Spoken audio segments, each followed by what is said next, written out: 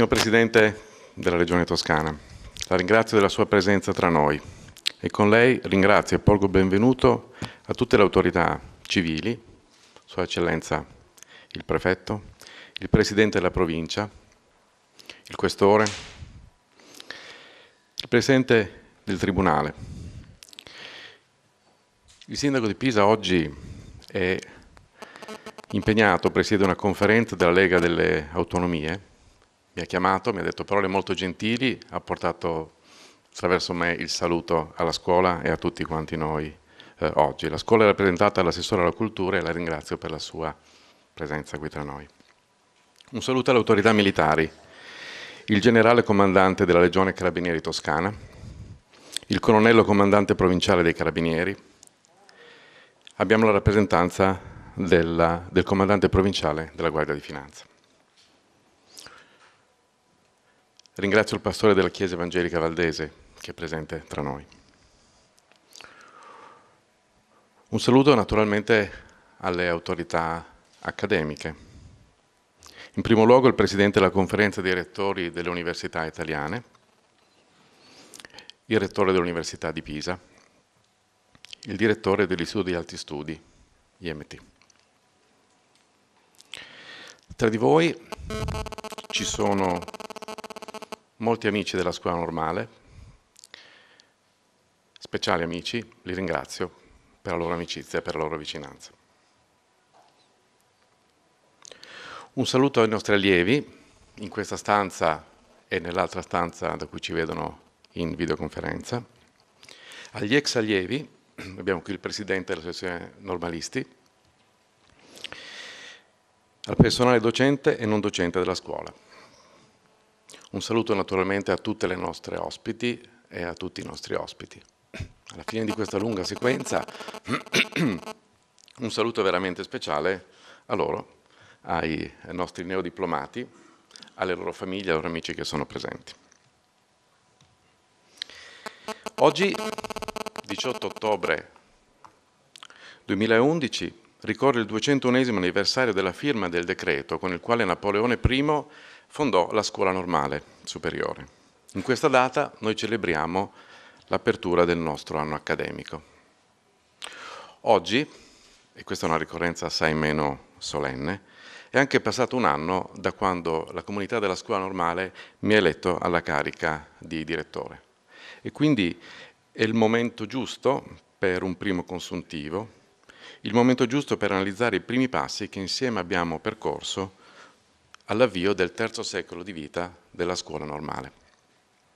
È stato un anno intenso di lavoro e di programmazione sul futuro della scuola, un anno di rinnovamento e di ringiovanimento, sullo sfondo di una fase davvero difficile per il Paese e il suo sistema formativo. Consentitemi alla fine di quest'anno di ringraziare prima di tutto il vice direttore della scuola, il professor Claudio Ciociola per il suo equilibrio e il suo costante impegno, per il suo insuperabile senso dell'umorismo e la sua amicizia.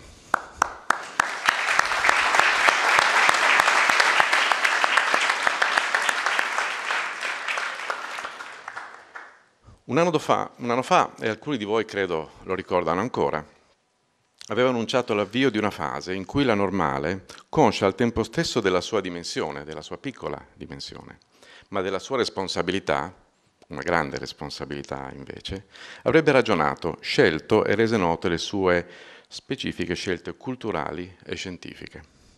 Aveva annunciato che ci saremmo evoluti verso un modello di funzionamento diverso, un modello basato su un più piccolo corpo docente di ruolo e su un più ampio ricorso a tutti gli strumenti oggi disponibili per poter offrire una proposta didattica e di ricerca coerente, attuale ai nostri allievi.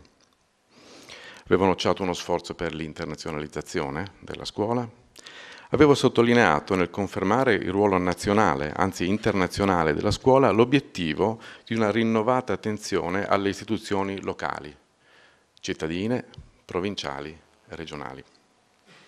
Ci siamo mossi in coerenza con queste linee.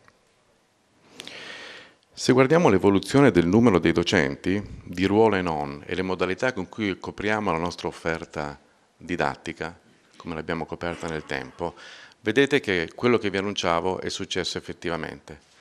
Il dato in blu rappresenta i corsi coperti da docenti di ruolo, il dato in rosso rappresenta i corsi coperti da docenti in qualche modo eh, incaricati con le nuove modalità di disposizione che disposizione che abbiamo. La scelta di flessibilità che avevamo annunciato è visibile, è concreta. Attenzione però, non intendiamo far scendere ulteriormente il valore della colonna blu, del dato blu, anzi abbiamo già programmato alcune azioni che renderemo esecutive nei prossimi mesi adesso che il quadro normativo definito dalla legge 240 comincia a diventare operativo con l'approvazione di vari decreti eh, attuativi. Saranno scelte attente, i numeri saranno piccoli e queste scelte sono cruciali perché la scuola normale deve restare piccola, ma al tempo stesso deve attentamente differenziarsi da un piccolo ateneo. A questa evoluzione noi resteremo fedeli di questo modello, intendo, perché registriamo che questo tipo di scelte consolida il successo della nostra istituzione. Questo è confermato da vari indicatori e cito uno, uno solo. Cito il fatto che la eh, scuola normale è ancora una volta tra i primi dieci atenei al mondo secondo la classifica dell'Università di Shanghai. Naturalmente quella normalizzata per taglia, la PCP come viene chiamata eh, tecnicamente perché la scuola normale è un ateneo naturalmente di piccole eh, dimensioni assolute. Io non credo ciecamente a questa o a nessuna classifica in generale, però voglio con voi analizzare in che compagnia siamo, quali sono le dieci eh, università selezionate da questo sistema. Le vedete su questa mappa, ce ne sono quattro eh, in Europa, che sono l'École nostra parente di Parigi, l'ETH di Zurigo, la Scuola Normale e l'Università di Cambridge. Negli Stati Uniti sono le altre sei, Harvard, MIT, Princeton, Caltech, Stanford e l'Università di California. È una buona compagnia. Questa è la compagnia con la quale ci vogliamo trovare. A proposito di valutazione, guardando al nostro Paese, come sapete si avvia in questi giorni la procedura di valutazione dell'ANVUR, l'Agenzia Nazionale per la Valutazione dell'Università e della Ricerca. Particolarmente nel campo delle scienze umane è urgente una riflessione attenta, alla quale tutti noi credo dobbiamo dare un contributo. Vi annuncio qui che con il presidente dell'ANVO, il professor Stefano Fantoni, stiamo organizzando un evento qui alla Scuola Normale che sarà destinato a tutti gli Atenei della Toscana, a cui siete eh, invitati e che spero sarà un momento importante in questo senso, per definire meglio, più puntualmente, i parametri su cui deve lavorare l'ANVO, su cui dobbiamo lavorare noi come collettività. La scuola è piccola, dicevo, ma può essere competitiva se nei settori dove sceglie di essere presente, sceglie di essere presente, la scuola sa creare le condizioni di studio e di ricerca ottimali.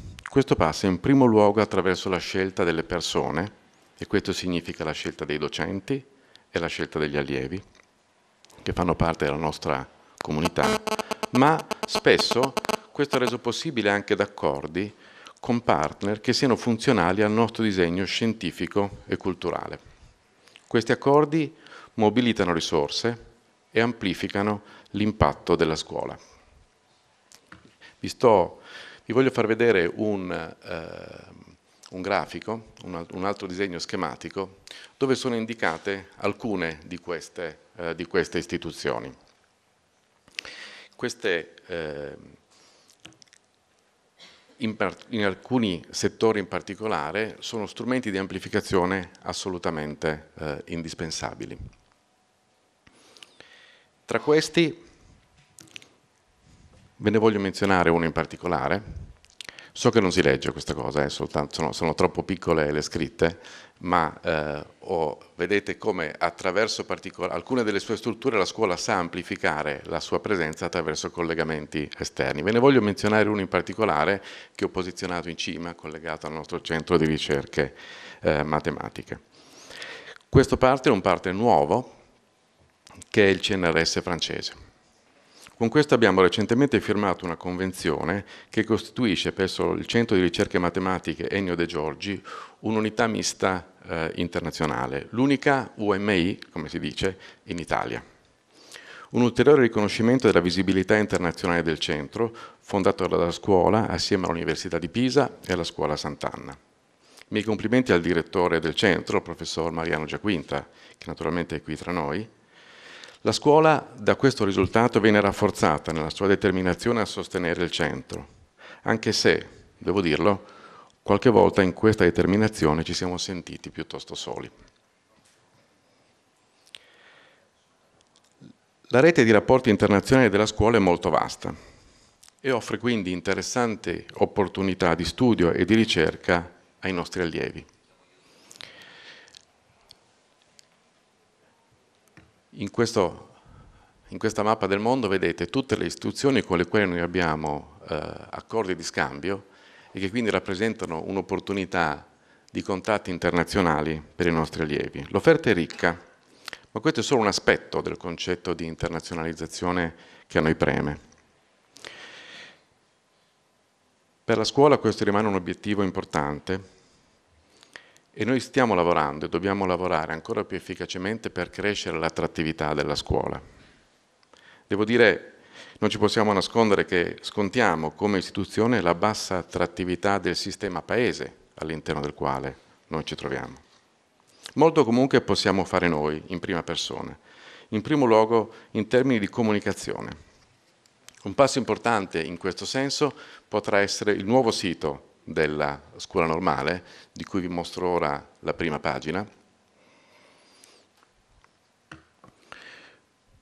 e per il quale desidero ringraziare pubblicamente Paola Mancini, Andrea Pantani, Michele Fiaschi e Andrea Freccioni per il lavoro non banale che sta eh, dietro a questo, a questo risultato e vi chiedo un applauso per questo.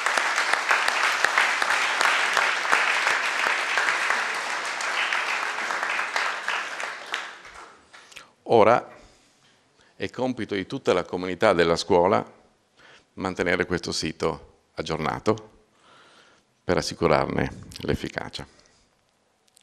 Sempre riguardo all'attrattività della scuola, desidero mostrarvi un altro dato lo vedete qui, che il numero delle domande ai nostri corsi, concorsi di ammissione.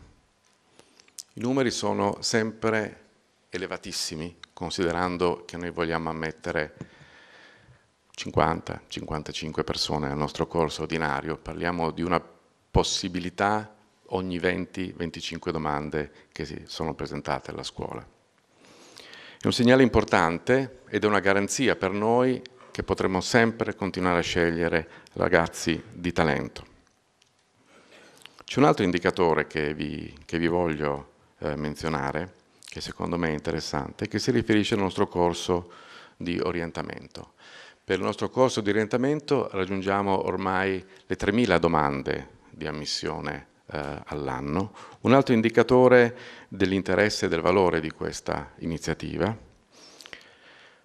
Forse Perfino il nostro Ministero se ne sta accorgendo che questa è un'azione di servizio che la scuola normale offre a ragazzi di talento per il loro orientamento, forse il Ministero avrà dei segni tangibili questa, per questa attenzione.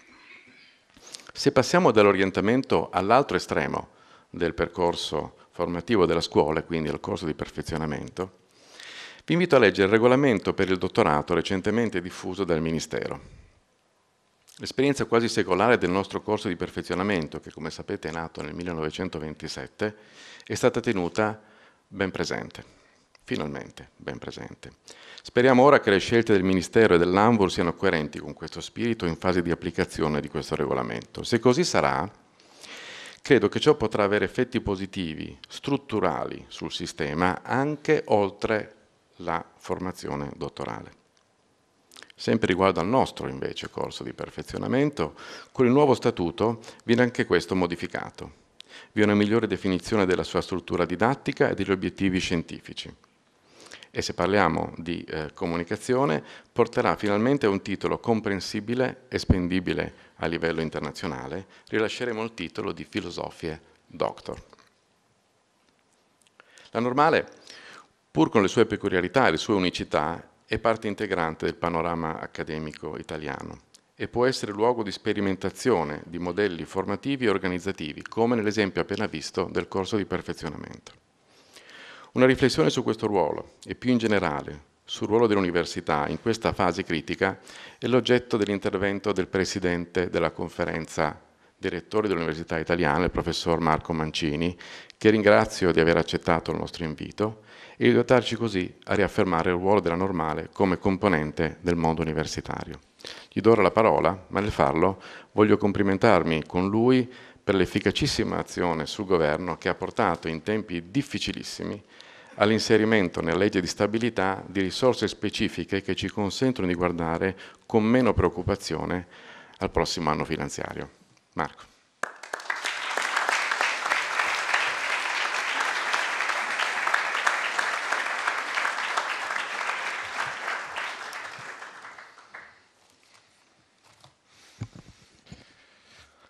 Magnifico Rettore, un saluto cordiale a te e a tutta la comunità accademica della scuola normale, un saluto a tutte le autorità presenti e ovviamente un saluto molto affettuoso a quelli che sono gli allievi e soprattutto ai diplomati che oggi eh, riceveranno eh, un eh, segnale importante per quello che è la promozione dei loro studi.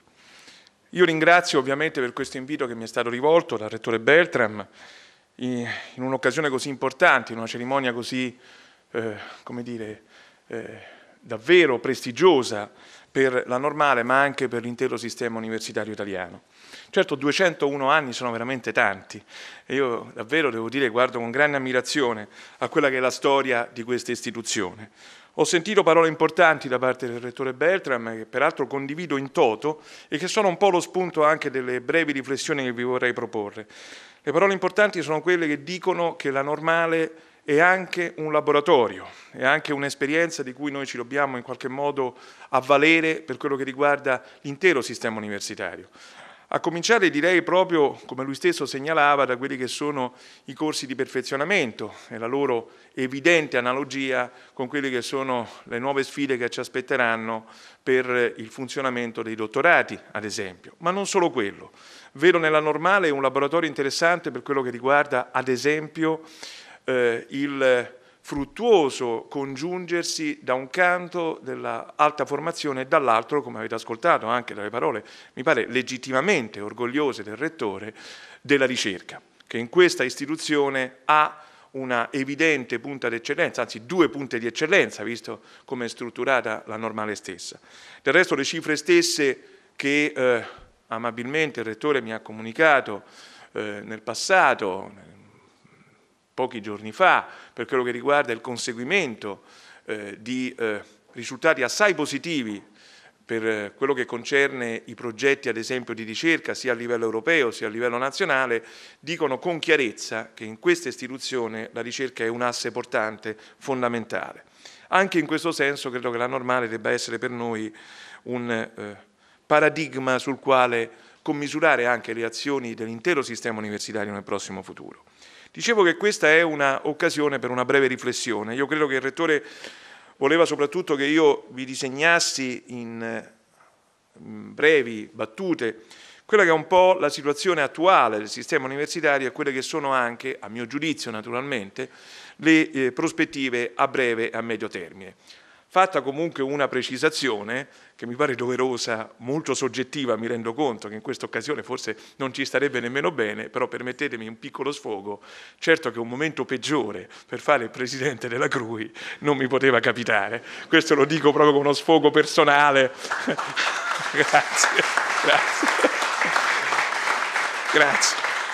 Comunque, fatta questa cosa che mi libera in qualche modo il cuore e soprattutto il, il subconscio, posso affrontare diciamo, con maggiore serenità i temi eh, rapidamente che volevo in qualche modo esporvi. Ma dunque, intanto come sapete, tradizionalmente, lo dico sempre in qualunque circostanza pubblica, eh, è noto che i rettori si lamentano sempre per i soldi, no? è un fatto ormai tradizionalmente noto. Devo dire che quest'anno si lamentano un po' tutti, per fortuna, cioè mal comune, mezzo gaudio. Um, si lamentano per i soldi, ma non naturalmente perché eh, per chissà quale avidità, ma semplicemente perché, come sapete, il nostro sistema universitario sta attraversando una crisi, lo ha ricordato proprio all'inizio del suo intervento il rettore Beltram, particolarmente eh, delicata, eh, la possiamo chiamare eufemisticamente transizione, ma in realtà non è una transizione, è una crisi. È una crisi dovuta al fatto che, come sapete, dal eh, 2010 in poi, per l'effetto prodotto da un combinato di leggi del varate nel 2008, il sistema universitario comincia a subire una serie di pesanti tagli. Non mi voglio annoiare con delle cifre, ma un paio di numeri ve li voglio dire perché, eh, come dire, in qualche modo purtroppo costituiscono un eh, mantra della nostra eh, lamentela come sistema universitario. Eh, noi abbiamo subito sino ad oggi, sino alla data odierna, è il caso di dire, un taglio medio sul finanziamento ordinario, cioè sui trasferimenti dallo Stato, pari al 7,48% naturalmente chi più chi meno, ma la linea diciamo, mediana è del 7,48. Um, ehm, avevamo, ringrazio il rettore Bertram per le parole così molto amichevoli e anche, mi permetto di dire, affettuose, avevamo una prospettiva sul 2012 particolarmente drammatica che io non ho eh, dal primo giorno in sostanza in cui sono stato eletto presidente della CRUI non ho mai cessato di sottolineare. Questa prospettiva drammatica è quella che vede vedeva un taglio sul 2012, eh, solo sul 2012 rispetto all'anno precedente, cioè l'anno in corso, pari al 5,5%.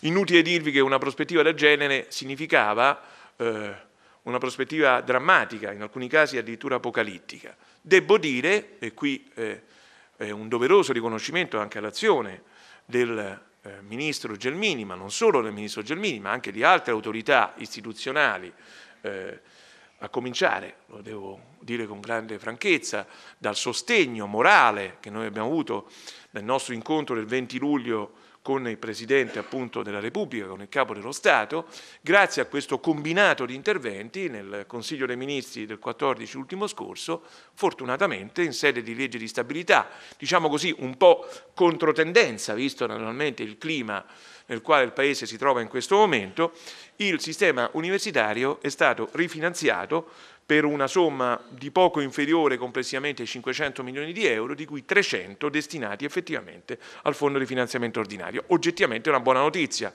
di cui certo non possiamo che essere soddisfatti. Una buona notizia che è coniugata anche, lo voglio ricordare, con il rifinanziamento del diritto allo studio per 150 milioni di euro. Siccome il diritto allo studio nel 2012 era arrivato al lumicino, stavamo intorno ai 25 milioni di euro, capite bene che questo rifinanziamento, pur non riportandoci per carità alle vette del 2007 e 2008, allora si parlava di 250 milioni di euro, tuttavia è già come dire, un momento di respiro importante e un segnale soprattutto nei confronti ovviamente dell'utenza studentesca. Io non posso che riscontrare, dicevo, con grande favore questo tipo di intervento, però siccome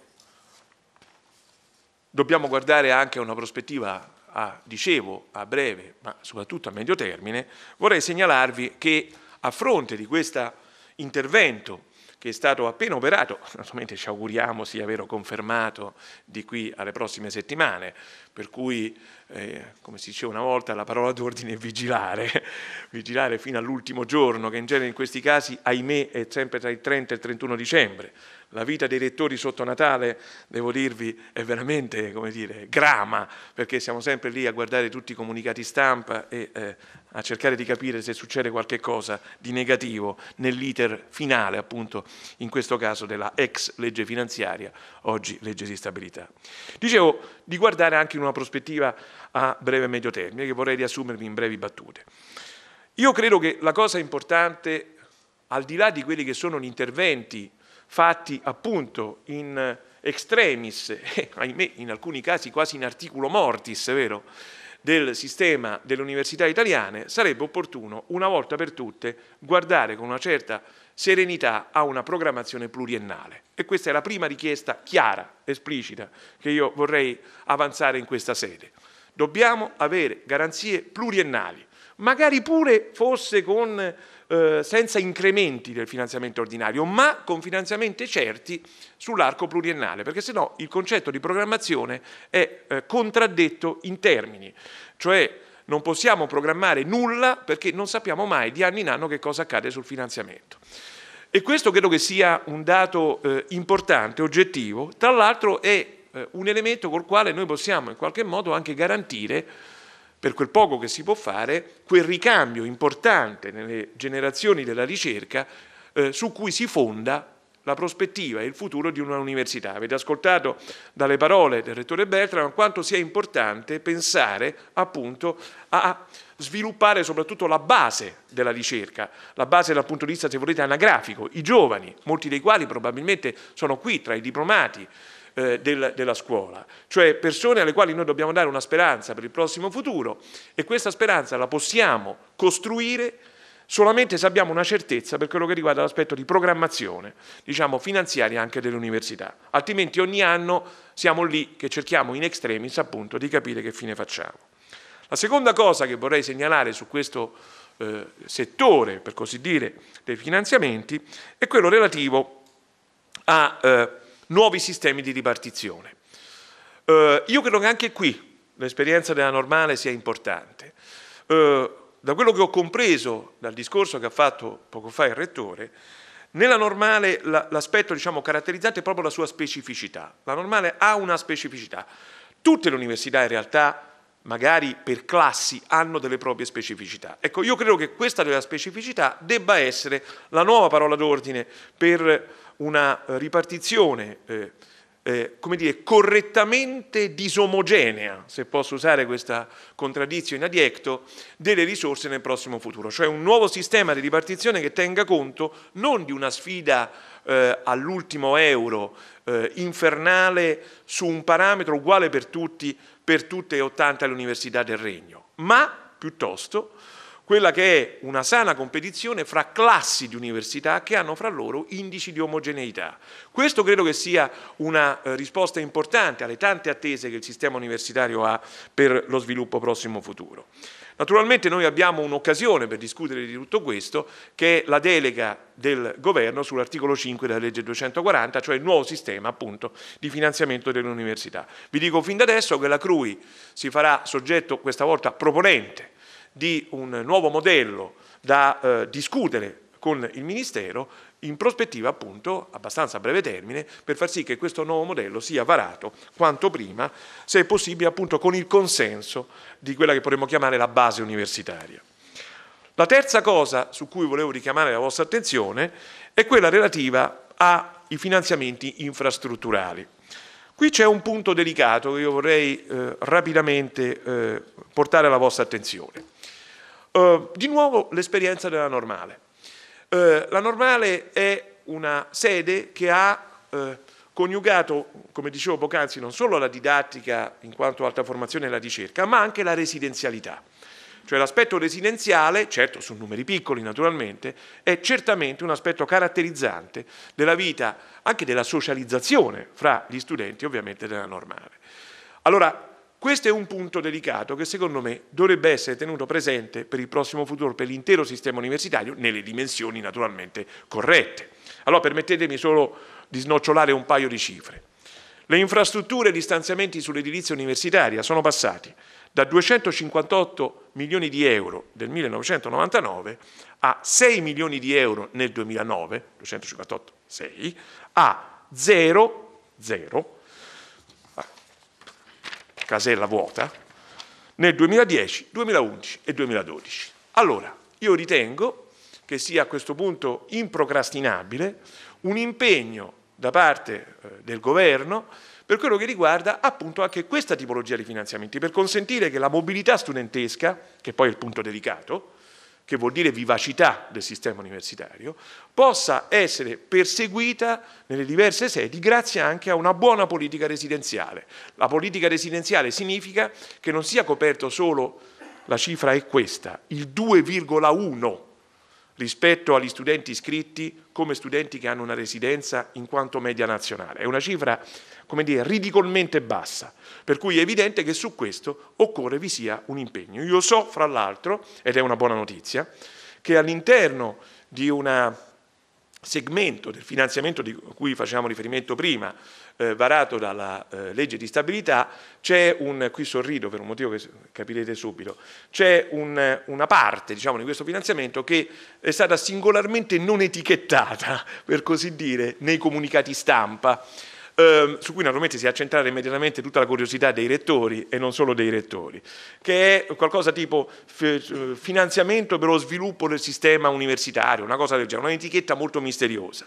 Allora io so che però all'interno di questo segmento esiste la volontà politica di uno stanziamento per il rifinanziamento, cosa che il Presidente della Regione conosce molto bene, della legge 338-2000, cioè quella famosa legge che nel 2000 prevedeva cofinanziamenti tra eh, il Ministero dell'Università, i finanziamenti regionali e le università proprio tra l'altro per la residenzialità e per diciamo, l'edilizia rivolta nei confronti soprattutto degli studenti. Questo è un primo segnale, io tale lo considero, se verrà eh, dire, eh, confermato questo stanziamento, su cui noi facciamo molto affidamento per risolvere progressivamente, è chiaro, quei problemi strutturali a cui facevo, o infrastrutturali per dir meglio, a cui facevo riferimento poc'anzi. Questo per quello che riguarda diciamo, le questioni di ordine diciamo, finanziario. Mi avvio al secondo e ultimo diciamo, paragrafo di questo mio breve intervento e cioè quello per così dire normativo, se volete statutario. Sapete che l'università, compresa questa università, seppure con uno status diverso rispetto alle altre, eh, a molte altre università, eh, ha avviato un processo di eh, riforma statutaria in applicazione ovviamente dell'articolo 2 della legge 240, cioè della legge Gelmini. Dei numeri. Allora, alla CRUI risulta che su 55 eh, progetti di statuto che ci sono pervenuti per conoscenza da parte delle diverse università, 36 sono in attesa di approvazione, 36 non sono stati in realtà ancora inviati eh, alle, al Ministero, 7 sono stati approvati e di cui 4, se non vado errato, sono già sulla Gazzetta Ufficiale. Allora è chiaro che noi siamo di fronte a una tappa a valle della quale dovremo ragionare di nuovo sull'autonomia universitaria. Non sembri un paradosso quello che sto dicendo.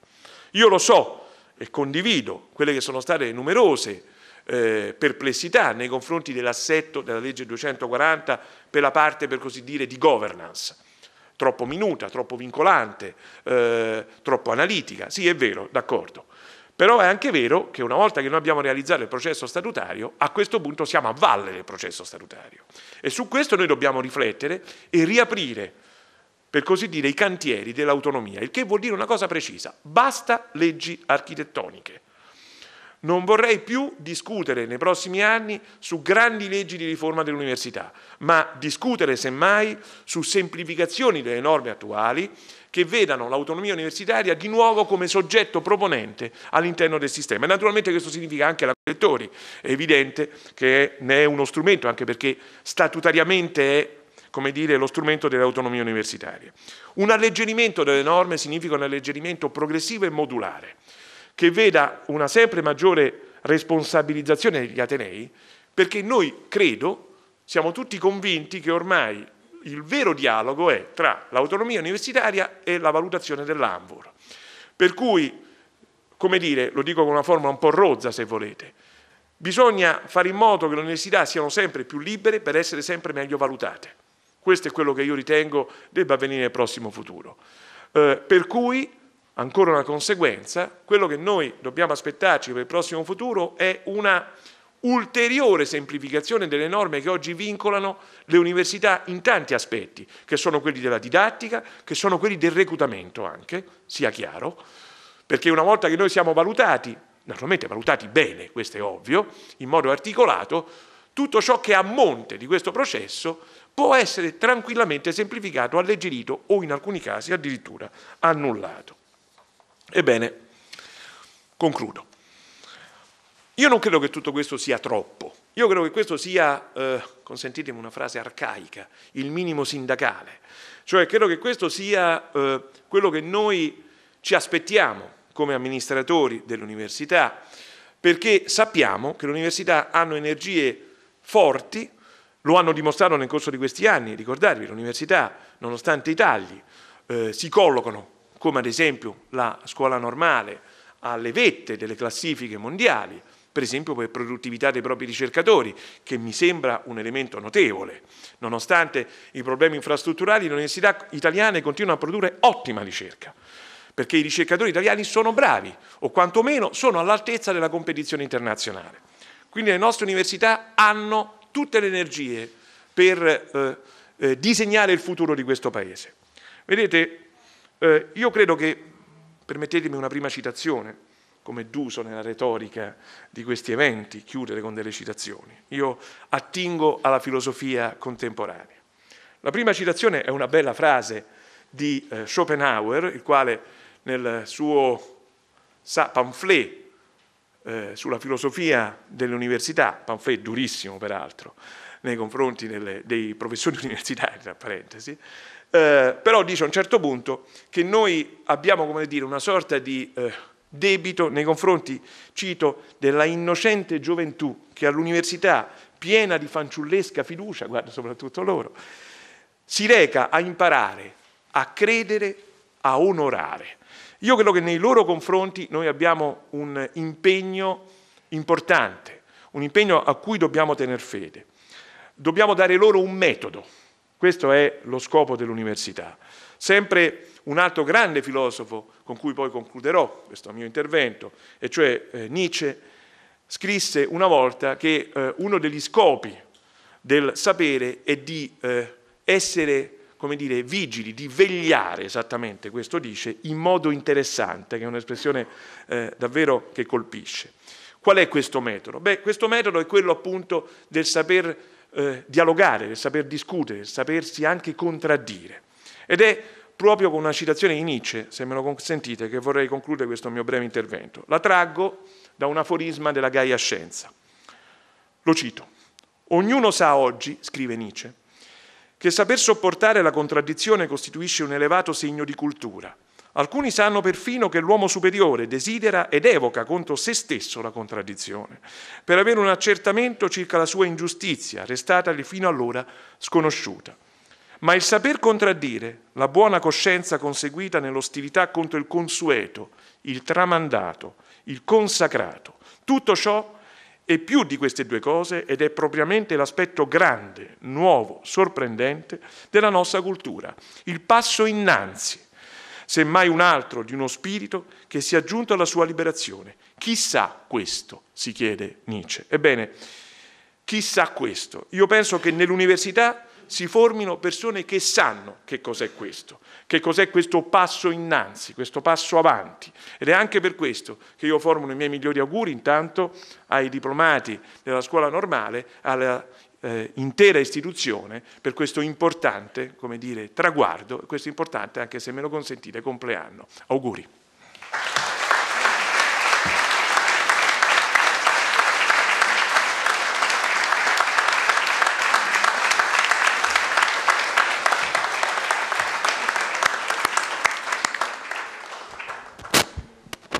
Grazie al Presidente Mancini per il suo intervento lucido e eh, decisamente pieno di spunti che, che condividiamo, mm, credo, spero tutti, sicuramente li condivido io.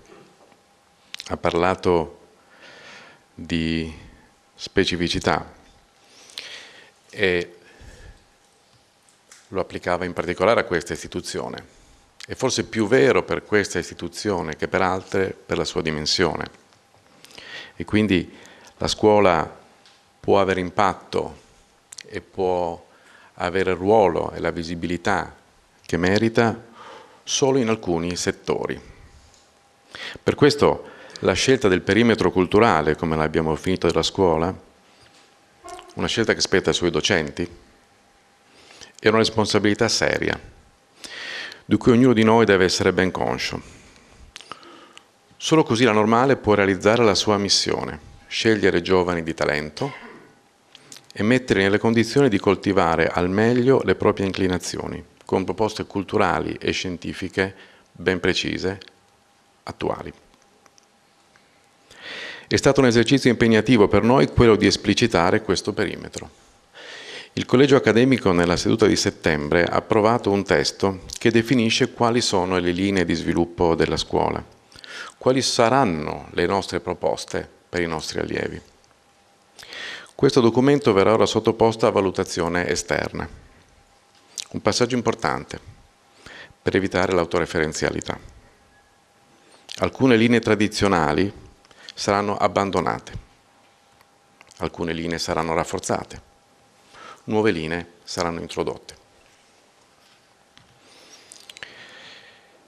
Il Presidente Mancini, e lo ringrazio molto per questo, ha sottolineato il ruolo della scuola nel e come parte del sistema formativo eh, nazionale. Questo per noi è importante, un concetto su cui abbiamo collettivamente lavorato e continuiamo a lavorare e continueremo a lavorare. Ma come vi dicevo durante quest'anno abbiamo molto lavorato anche per riportare la scuola sulla mappa della Toscana. Forti sono i rapporti con le realtà cittadine. Penso alla stretta collaborazione con il Comune, la Fondazione Bancaria, la Fondazione Teatro per quanto riguarda le nostre attività culturali e per la valorizzazione e la messa a sistema del patrimonio artistico della scuola. Ringrazio, ringrazio per questo il nostro sindaco e il presidente della Fondazione Bancaria, Cosimo Bracitorsi, che è qui con noi. Lo stesso posso dire per i rapporti a livello della provincia e il rinnovato contributo che la Normale sta offrendo e ancor più offrirà all'innovazione delle imprese locali e alla stessa formazione molto deve allo stimolo e all'aiuto della provincia ringrazio per questo il Presidente Andrea Pieroni che oggi è con noi. In provincia poi a San Miniato è una realtà vicina alla normale, la Fondazione eh, Santa Chiara. Questa che vedete è eh, una foto della sede principale di questa fondazione. Questa è un'iniziativa che la scuola desidera valorizzare e rafforzare attraverso una programmazione ambiziosa in ambito culturale e formativo, ma solo se in pieno accordo e sintonia con Saminiato stessa. È arrivato, probabilmente anche lui trattenuto dal traffico, il sindaco della, della città, e lo ringrazio per essere qui con noi, il sindaco di San Miniato. La presenza sua oggi per noi è stimolo e rafforzamento della nostra determinazione a procedere su questa strada assieme a lui assieme alla città di San Miniato. Intenso poi il rapporto con eh, la regione e con il governo generale, regionale, in primo luogo con il presidente eh, Enrico Rossi, ma anche con la vicepresidente Targetti, gli assessori Marson, Nencini, Simoncini e molti dirigenti eh, dell'amministrazione regionale. Mi fa molto piacere che alcuni di loro siano qui. La normale quindi è di nuovo sulla mappa della Toscana, partecipa ai suoi programmi dal suo contributo di idee e di persone. E oggi è indispensabile fare sistema. L'amministrazione regionale sta mostrando la leadership richiesta assieme alla necessaria capacità di ascoltare. Ma di Regione Toscana e dei nostri rapporti parleremo un po' più in dettaglio tra poco. Ora vorrei parlarvi delle strutture della eh, normale. Ieri con i nostri presidi Riccardo Barbieri, Daniele Menozzi e tutti i colleghi ho incontrato gli allievi ammessi al primo anno eh, della scuola. Dovranno avere un po' di pazienza. La scuola si sta rinnovando, si sta rinnovando anche nelle sue strutture e questo creerà qualche temporaneo disagio. In questo stesso palazzo, ancora una volta grazie all'aiuto della Fondazione eh, Casa di Risparmio, vedremo presto un'accelerazione dei lavori di ristrutturazione e restyling. Spero che qualche, qualche cambiamento l'abbiate già notato. La stessa Piazza dei Cavalieri, come sapete, è oggetto di un importante intervento, questo è il rendering di come sarà eh, la piazza alla conclusione dei lavori che, di cui vedete eh, i segni visibilissimi eh, qui davanti. Ci congratuliamo con l'amministrazione per, per, questo, per questo lavoro ma la scuola è anche in altre, in altre sedi in città. Noi siamo qui, qui è il complesso di due nostri collegi, collegi eh, Timpano e Acconci, che sono in questo momento chiusi e ci scusiamo con i nostri allievi eh, per questo, ma sono chiusi perché sono oggetto di una drastica ristrutturazione già avviata dal direttore Settis grazie al confinanziamento eh, del Ministero. Siamo anche qui, in piazza San Silvestro, questo è il compendio di eh, San Silvestro che è la sede della normale napoleonica, eh, come sapete una struttura molto bella, la vedete qui dall'alto, sulla quale stiamo agendo di concerto con eh, risorse di fondazioni private. Il perché ve l'ha spiegato il rettore Mancini. Il finanziamento per l'edilizia universitaria è stato consistentemente zero negli ultimi anni. Non avremmo potuto fare nulla di questo senza risorse private. Abbiamo restaurato questo primo tratto del palazzo con eh, l'aiuto della Fondazione Monte di Paschi, questa sezione la stiamo per avviare con il sostegno determinante di Banca Intesa.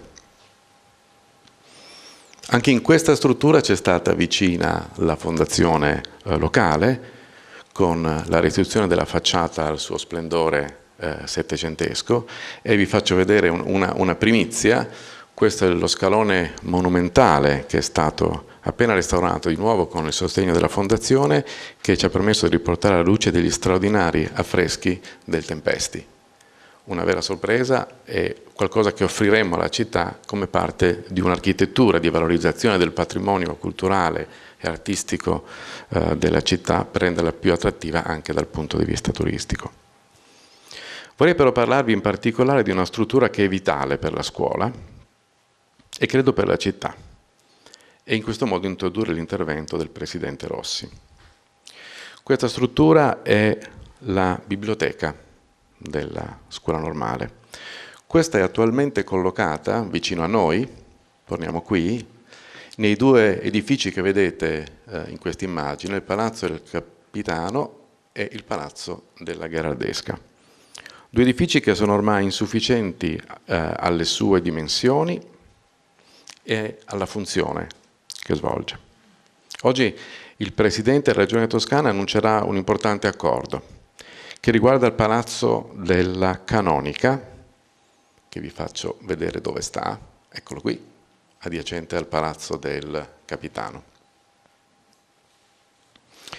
Un accordo che vede la condivisione anche della provincia di Pisa e qui va il nostro grazie in particolare al Presidente Andrea Pieroni per la sua sensibilità in questo eh, delicato passaggio.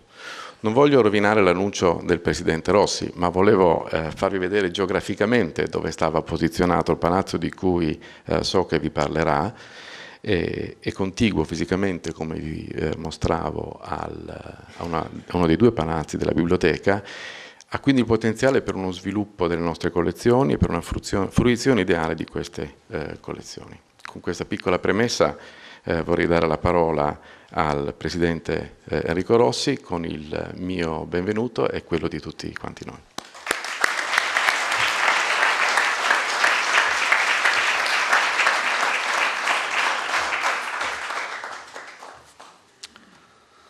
Buongiorno, illustrissimo Rettore, Presidente della CRUI, signor Prefetto, docenti e allievi della scuola, autorità, signore e signori. Eh, vi ringrazio per questo invito, sono onoratissimo per l'opportunità che mi avete dato di portare questo saluto. Vorrei iniziare innanzitutto facendo gli auguri di buon compleanno alla Scuola Superiore Normale, che compie oggi 201 anni, direi portati benissimo, a giudicare dal prestigio, dal ruolo che continua a svolgere nel panorama nazionale e internazionale. Poi rivolgo un saluto caloroso, un apprezzamento sincero ai giovani che sono qui presenti, che hanno completato il corso ordinario di studi. Complimenti vivissimi e auguri di buon futuro.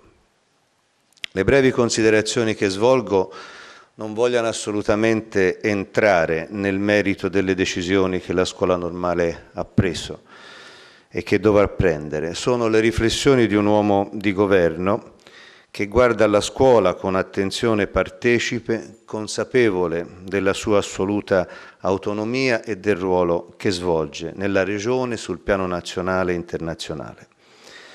Sul ruolo di questa scuola non ci sono dubbi. È stato detto anche dal Rettore, molto bene, permettete anche a me di citarlo, eh, nelle valutazioni internazionali delle università questa scuola si colloca tra i primi dieci posti e quindi un'eccellenza assoluta nel mondo. Credo che da questo ne derivi anche un ruolo di indirizzo, in qualche modo, se mi è permesso, di avanguardia nel sistema universitario nazionale e regionale. E questo richiede sicuramente alla scuola normale di accettare le sfide nuove che sono state rammentate anche dal Rettore, di mettersi al passo con i tempi e di trovare nel suo passato, piuttosto che un elemento di freno, le ragioni di un nuovo slancio. Il ruolo decisivo che la scuola ha svolto nei due secoli dalla sua esistenza è noto a tutti e costituisce un motivo di prestigio per la Toscana che la scuola ospita. Qui sono state formate le classi dirigenti del Paese, preparando prima i professori delle scuole medie, poi quelli delle università. Da qui, permettete che lo ricordi, sono usciti due presidenti della Repubblica, Gronchi e Ciampi, un presidente del Consiglio, molti ministri, e in senso generale questa scuola è sempre stata un punto di riferimento della vita culturale, civile e politica del nostro Paese. Oggi la situazione è mutata e anche il ruolo della scuola ha bisogno di proiettarsi, io credo, in un orizzonte diverso. Lo Stato nazionale è entrato in una fase di profonda trasformazione. L'Europa è diventata e dovrà esserlo sempre di più il nostro orizzonte quotidiano di riferimento per le sfide che abbiamo presenti. E il mondo è il terreno su cui si gioca la competizione del nostro Paese, del nostro sistema. Io credo che queste nuove sfide la scuola è in grado di affrontarle, di affrontarle a partire dalla dimensione regionale in cui è situata la sua nascita, che oggi viene richiamata e a me fa molto piacere dal Rettore, e partendo di qui proiettarsi nei mutamenti del Paese e nei mutamenti internazionali. Il Paese ha avuto un cambiamento profondo di quella che si potrebbe chiamare la composizione demografica. Oggi ci sono molti giovani italiani nati da genitori non italiani, che sono cittadini della Repubblica. Molti attendono di diventarlo e questo futuro sarà sempre più segnato da queste presenze. L'Italia sta diventando un paese multiculturale, nel quale sono presenti molte tradizioni e anche diverse confessioni religiose. La scuola, per essere a passo con i tempi, deve sapersi aprire anche a queste nuove realtà, così come deve collegarsi con le frontiere più avanzate della ricerca internazionale, anche, e noi siamo disposti a fare fino in fondo la nostra parte, aumentando l'attrattività di studenti e docenti, un tema che ci interessa e su cui noi mm, siamo in condizione di poter svolgere un ruolo di supporto rispetto alle decisioni che la scuola vorrà prendere. Insomma, è da un'eccellenza come la scuola normale che può scaturire a determinate condizioni quella spinta propulsiva che oggi sentiamo mancare e che rischia di far allontanare il nostro Paese e anche la nostra regione dalle economie più avanzate. Io penso che è necessario che l'Italia ritrovi il coraggio e la consapevolezza del grande valore rappresentato dalle scuole di alta formazione, come appunto la normale. Ci sono segni positivi in questo senso, ma forse si può fare di più. Perché questo può essere davvero condizione per lo sviluppo, per accrescere innovazione e competitività della nostra economia. Ci sono segnali positivi, ma veniamo da anni di tagli troppo profondi, tagli che, che hanno colpito il nostro sistema universitario. Impervio è stato anche il percorso del rinnovamento delle architetture del sistema universitario a cui faceva riferimento il Presidente della CRUI. C'è stato come un dibattito che, che, non ha avuto gli sbocchi necessari. È vero che oggi noi siamo tra i paesi dell'Ocse che meno spendono in rapporto al PIL, in spesa pubblica, eh, informazione e ricerca. Siamo a livello della Spagna. Tutti gli altri paesi continuano a investire di più. Scarsità di risorse, anni di incertezze, io penso che hanno generato anche nel corpo sociale un'idea che l'istruzione eh, abbia perso progressivamente valore. A me sembra questa una delle sfide su cui eh, impegnarci anche in una battaglia politica culturale. C'è stato come una specie di circolo vizioso per cui a fronte di una certa confusione di prospettive, di un progressivo disinvestimento sul fronte della didattica e delle infrastrutture, il corpo sociale del Paese si è come allontanato dal considerare la formazione, la scuola, l'istruzione valori essenziali per il futuro. Basta pensare alle difficoltà del corpo docente, allo scarso riconoscimento anche della sua funzione sociale, o basta pensare alle difficoltà degli studenti che si interrogano sul perché stare a scuola, sull'importanza dei loro studi. Non voglio dilungarmi troppo, mi ha colpito però, e vorrei chiedere di poterci fare riferimento, una lettera che mi è stata inviata come Presidente della Giunta regionale da una ragazza laureata in psicologia che mi ha inviato eh, per mail questo annuncio. L'annuncio recita così si ricerca una segretaria commerciale che abbia propensione sull'acquisizione e sulla gestione del cliente. È richiesta la capacità del problem solving e la conoscenza minima del pacchetto Office. Età massima 29 anni, anche prima esperienza, visto la possibilità di avere 15 giorni di formazione retribuita, astenersi, laureate e perditempo. Io credo che su questo ci sia di che riflettere eh, per tutti e penso che eh, ancor più ci sia di che riflettere sul seguito di questa lettera, sulle parole amare di questa giovane laureata. E dice, Presidente, ho una formazione troppo alta e quindi quando vado in giro in cerca di lavoro ho predisposto due curricula. Uno in cui ho messo tutto ciò che ho fatto e tutti i miei titoli di studio e un altro più mediocre ed essenziale, che gioca a secondo delle necessità del momento. Non ha futuro, non ha un gran futuro un paese in cui un giovane è costretto a comportarsi in questo modo.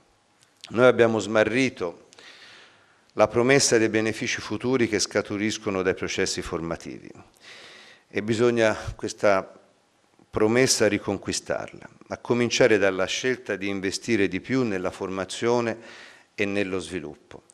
La Regione Toscana ha sempre cercato di essere a sostegno del sistema universitario, dando un contributo innanzitutto alla governance congiunta, mi pare lo stiamo dando con rispetto, con eh, senso di attenzione, rispetto per l'autonomia. Io credo che il motore di questo rapporto non devono essere i problemi finanziari delle nostre università, che ci sono e che noi siamo disponibili a prendere sul serio e per quanto possibile a dare una mano, un aiuto, ma penso che al centro di questo rapporto tra il sistema delle università e la Regione ci sia soprattutto il contributo che le istituzioni universitarie che hanno sede in Toscana possono dare, a partire ovviamente dall'eccellenza della scuola normale, il contributo che possono offrire alla nostra società nella ricerca, nel mondo produttivo, nella formazione del capitano umano. Riteniamo e insisteremo su questo sempre con rispetto, che è opportuno che le università toscane, che sia giunto il momento in cui le università toscane si spingano più in avanti nel fare sistema, diventare non soltanto una somma di singole istituzioni, ma qualcosa di più, in modo da sostenere meglio, a me pare, il confronto con i sistemi universitari internazionali. Ciò spinge i nostri tenei a, fare massa critica, mi pare che ci si sta incamminando positivamente in questa direzione. La Regione c'è e può dare, se richiesto, un utile contributo di stimolo e di sostegno a questo processo. Allo stesso tempo io credo che c'è una specificità toscana per la presenza di scuole di eccellenza, a partire dalla scuola normale, a cui noi dobbiamo guardare con molta attenzione a cui noi eh, dobbiamo dare, come ho già detto, tutto il supporto possibile. Il mondo universitario e della ricerca, a mio parere, potrà svolgere un ruolo chiave per accompagnare la Toscana verso un nuovo sentiero di sviluppo. Noi pensiamo ad un sentiero di sviluppo che si basi sulla competizione alta, non ci sarà sviluppo in questa parte di mondo comprimendo i diritti del mondo del lavoro. Potrà esserci se scienza, se produzione si, si intersecano, se collaborano, se sapremo mettere un di più di creatività, di ricerca all'interno dei nostri prodotti, se sapremo innovarli e se sapremo migliorarne la qualità perché siano più competitivi e forse se sapremo anche inventare prodotti nuovi, utili eh, per l'uomo e per il futuro. Su questo fronte noi siamo molto impegnati, abbiamo un'attenzione forte con tutto il sistema delle istituzioni, la provincia, i comuni e ringrazio l'illustre lettore per aver richiamato questo sforzo.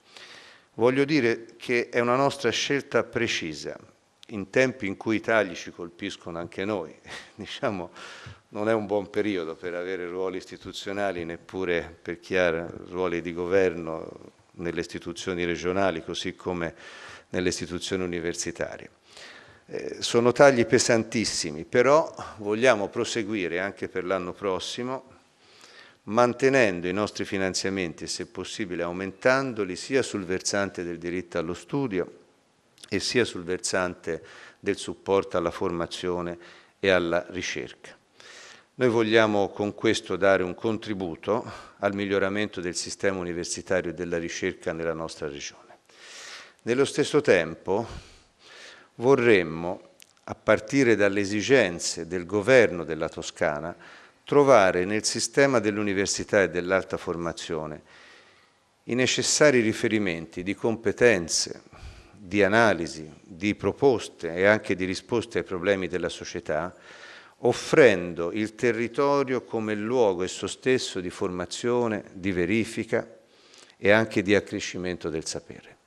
Io credo che la T del territorio può entrare a buon diritto, se lo faremo in modo corretto, come un momento importante di verifica, di confronto e di accrescimento del sapere.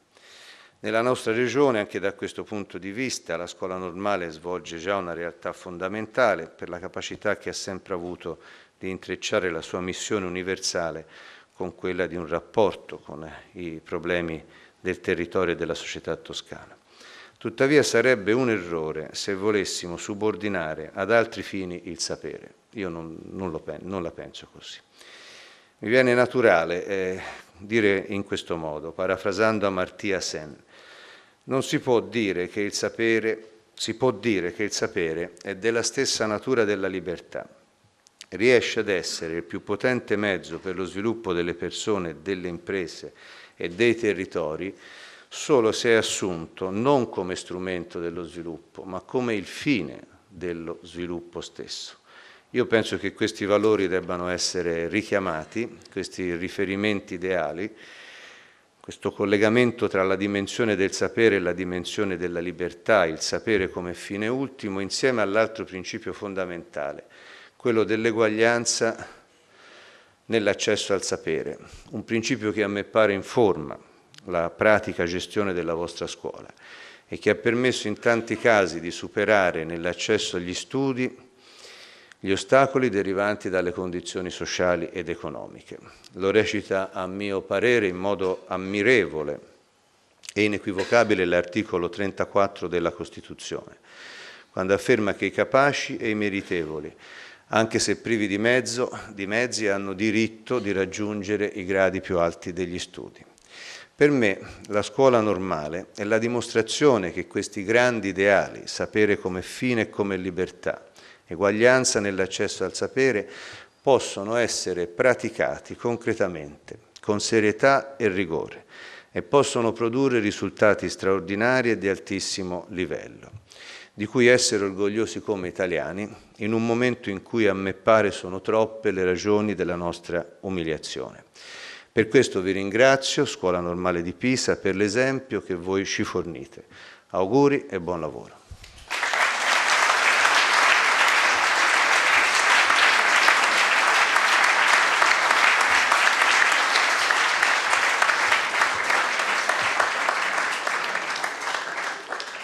Grazie al Presidente Enrico Rossi per le sue parole importanti. Lasci a me allora il, il compito di spiegare perché. Ti ringraziamo in particolare anche per un aspetto operativo, oltre che per, per la guida diversa e, che hai saputo dare all'amministrazione regionale. Vi mostravo un, un edificio, il Palazzo eh, della Canonica, per una scelta precisa del, del Presidente e, grazie alla determinazione del suo staff e alcuni passaggi di leggi regionali, e vari, non, non, vi sto a dire le complicazioni, ma insomma... Eh, il palazzo che vedete eh, in giallo, che è il palazzo che sta eh, qui di fronte, quindi verrà dato in concessione alla scuola normale per 50 anni, tecnicamente si chiama eh, dietro pagamento di un canone ricognitorio, parola che ho appreso recentemente, ma che in italiano si traduce in simbolico o forse eh, trascurabile. Eh, un segno molto importante attenzione e uno strumento particolarmente importante nel contesto di difficoltà, come avete sentito, su interventi strutturali per mancanza di risorse. Questa eh, opportunità ci permetterà di rilanciare la nostra biblioteca, rilanciare la funzione non soltanto eh, per la scuola, ma per la città e per gli studiosi in generale che gravitano intorno eh, a Pisa. Grazie anche di questo, eh, Presidente.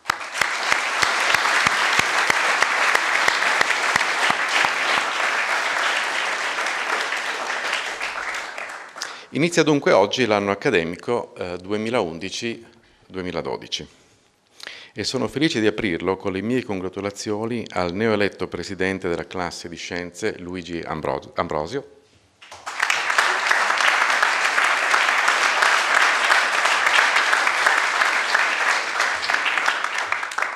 E il mio ringraziamento al preside Richeri che termina il suo mandato oggi.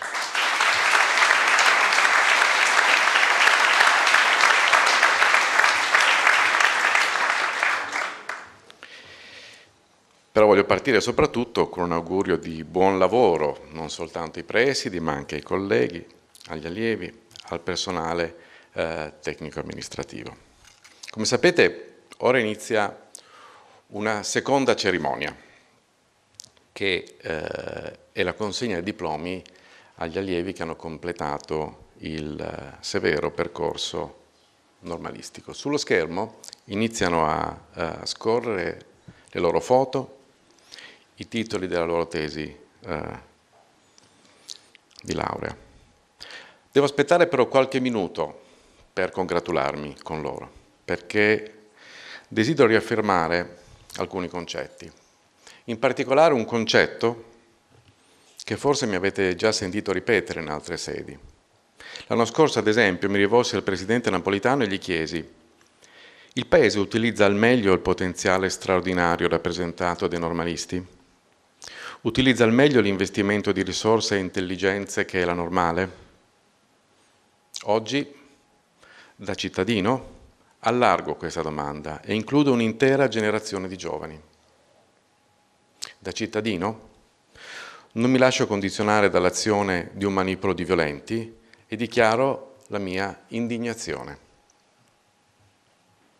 Da direttore, non posso nascondere la mia preoccupazione particolare per i neonormalisti. L'incapacità di progettare, forse di concepire un vero sviluppo che affligge il nostro Paese mi sconcerta. Il nostro è un Paese in crisi perpetua, che non sa capire che la vera manovra per lo sviluppo di cui tanto si parla si fa qui, con la formazione, con la cultura, con la ricerca, con le intelligenze.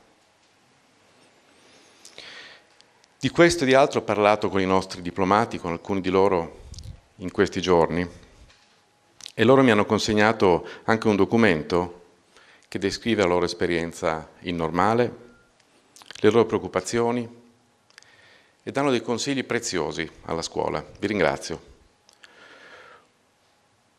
Ne faremo tesoro. Vi assicuro che di questo si parlerà nei nostri organi, la vostra voce sarà eh, riportata, i vostri suggerimenti saranno giustamente apprezzati e valorizzati nelle nostre azioni future. In questo trovo un altro segnale del vostro attaccamento all'istituzione e la vostra gratitudine a questa istituzione. Ma dopo aver espresso i miei dubbi, le mie preoccupazioni, era necessario esprimere anche soddisfazione. Soddisfazione per il lavoro che voi avete svolto e con voi noi abbiamo svolto qui alla scuola.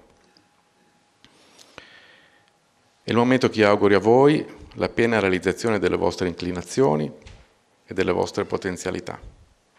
Sono davvero grato per la vostra presenza qui. So che alcuni di voi hanno fatto viaggi molto lunghi, penso nove fusi orari siano il record dei presenti, si vede anche dall'occhio un po' di alcuni di voi. Anche questo sforzo, anche questa voglia di esserci è un altro segno di affetto per la scuola e di questo io vi sono personalmente, personalmente grato. Sapete cosa succede ora? È diventata una, una, tradizione, anche se recente, ma le tradizioni devono cominciare, in questo caso sono cominciate l'anno scorso. Quindi è previsto che ora i nostri presidi, Riccardo Barbieri e Daniele Menozzi, eh, si, uniscano, si uniscono a me qui. Ora vi alzate in piedi, qui verranno fatte delle foto che verranno viste per tutto l'anno, quindi mi raccomando. Ok? Alzatevi in piedi, vogliamo col, col vostro diploma. A voi, da tutti noi, stata una pioggia di flash, immagino, le nostre congratulazioni e i nostri migliori auguri.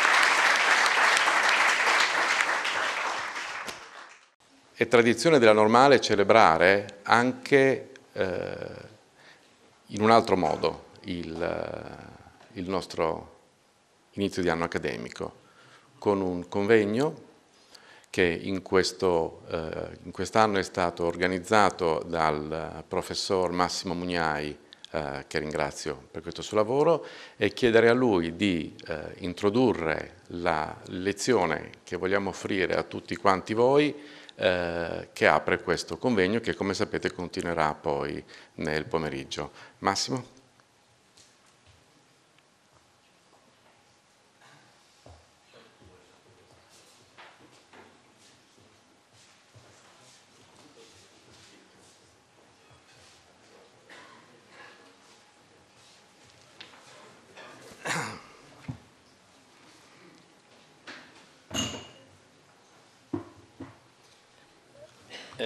Dunque,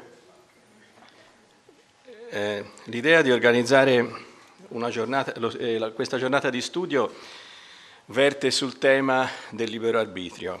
E eh, l'idea di organizzare questa giornata ha avuto un'origine eh, conviviale, nel senso che ehm, quando è finito, in conclusione della prima, eh, una delle giornate dell'orientamento a Colle di Valdelsa, credo che sia stata l'ultima volta dell'orientamento a Colle di Valdelsa, all'ora di pranzo, eh, dura, ehm, conclusa la sessione del mattino, si sviluppò un'accesa discussione in margine alla lezione tenuta dal professor Pietro, Pietro eh, Pietrini, una discussione che vise coinvolta, oltre allo stesso Pietrini, il professor Mauro Giacca della Sissa di Trieste, che era presente anche lui con una relazione, il collega Giaquinta, che è direttore del Centro Geologi della Scuola, me stesso e Armando Torno, eh, noto editorialista del Corriere della Sera.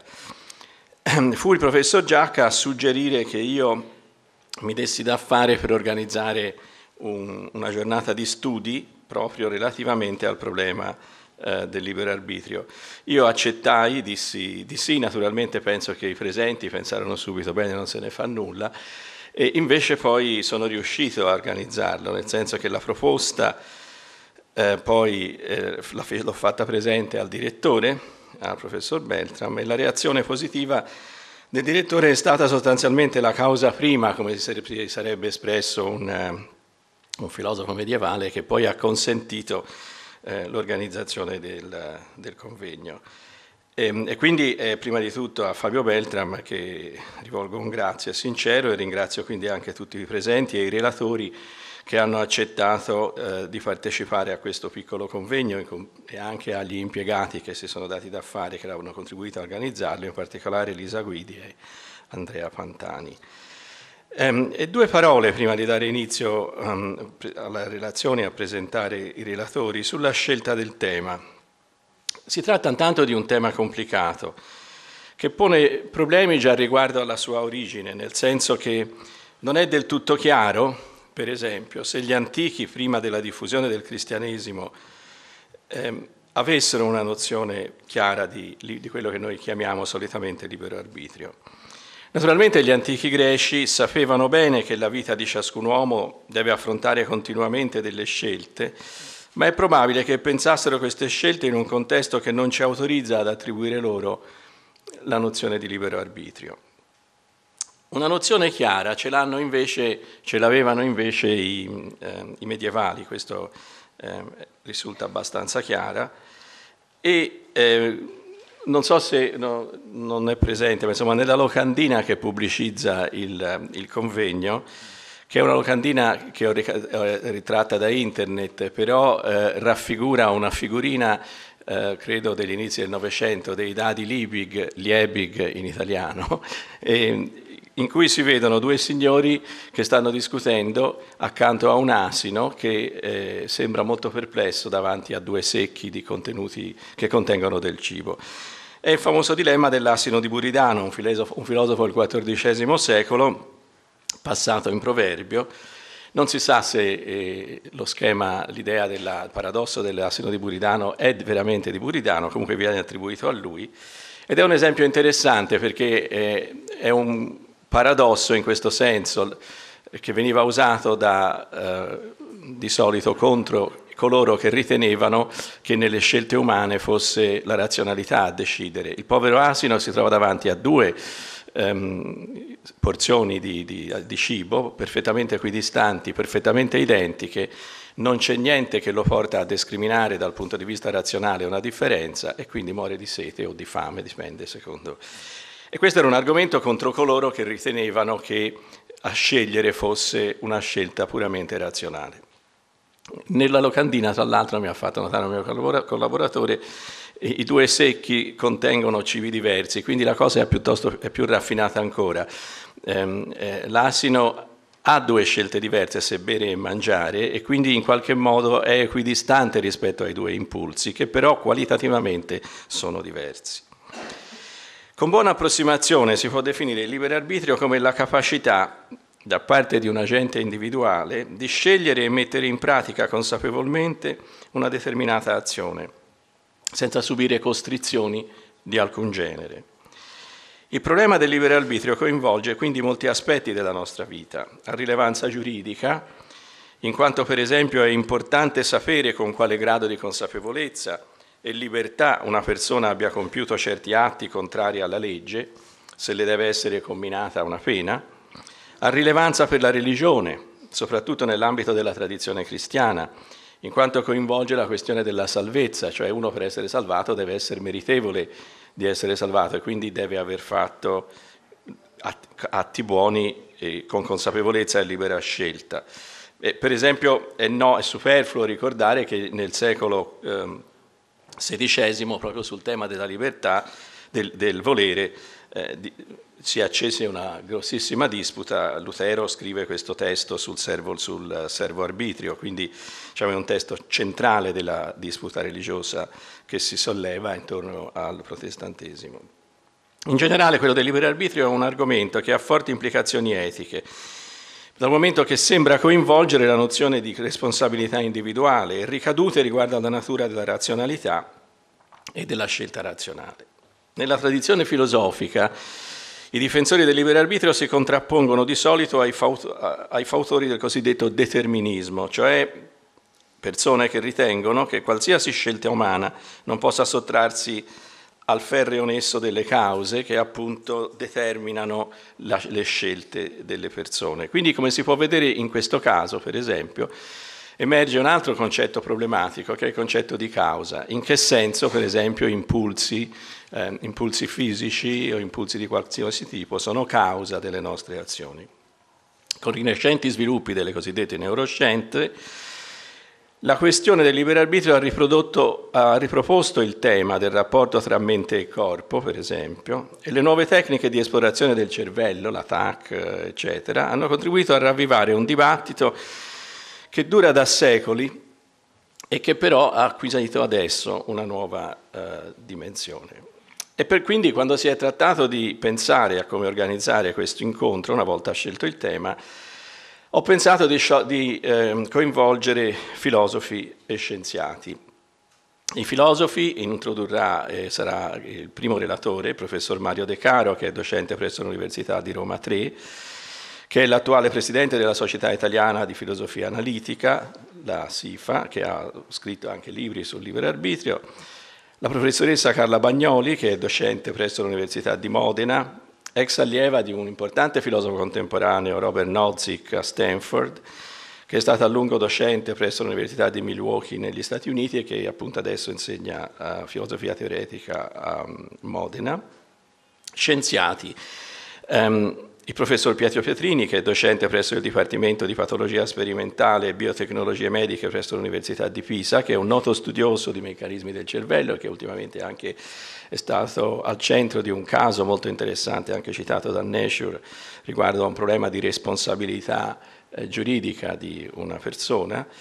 E poi um, l'unica straniera, eh, cioè non eh, italiana, la professoressa Dina Roskis, che ha questa duplice veste, è filosofo e scienziato, nel senso che ha ottenuto un dottorato di filosofia presso l'MIT e un dottorato in neuroscienze conseguito presso l'University of California a San Diego. Questi sono i protagonisti delle, perso- della, delle conferenze nell'ordine che, eh, che sarà prima il professor De Caro, poi la professoressa Roschis, quindi Pietro Pietrini e quindi ehm, Carla Bagnoli. Concludo con una citazione, anch'io sullo stile del... non l'avevamo coordinato, ma con, eh, con un filosofo, vorrei citare, fare una citazione di un filosofo, un filosofo italiano ehm, che eh, di solito eh, non, è diciamo, non, è stato molto considerato. Io ritengo però sia stato probabilmente il più importante filosofo italiano del dopoguerra, ehm, Giulio Preti, di cui ricorre tra l'altro proprio quest'anno il centenario della nascita. E scrive, di fronte al filosofo di oggi, lo scienziato, e non solo il matematico o il naturalista, ma anche lo storico o il filologo, appare una persona seria è saldamente inserito in una tradizione univoca e la può modificare con metodi determinati e controlli categorici. Potrà discutere con i suoi colleghi, ma alla fine avrà ragione o torto. Parla solo agli specialisti della sua disciplina, ma in fin dei conti parla perlomeno a tutti questi specialisti. Il filosofo dice di parlare a tutto il genere umano, ma in pratica non riesce a parlare neppure al suo compagno di corso o al suo collega di facoltà. Ehm, L'intenzione mia con uh, l'organizzazione, quindi ripeto con l'aiuto anche del uh, direttore, l'intenzione mia personale con l'organizzazione di questo piccolo convegno è quella di eh, difendere una nozione, un modo di fare e studiare filosofia molto vicino a quello che era auspicato da Preti, che in qualche modo non, cerca il più possibile di non allontanarsi e di tener conto di quel che avviene anche nelle scienze. Grazie. Quindi.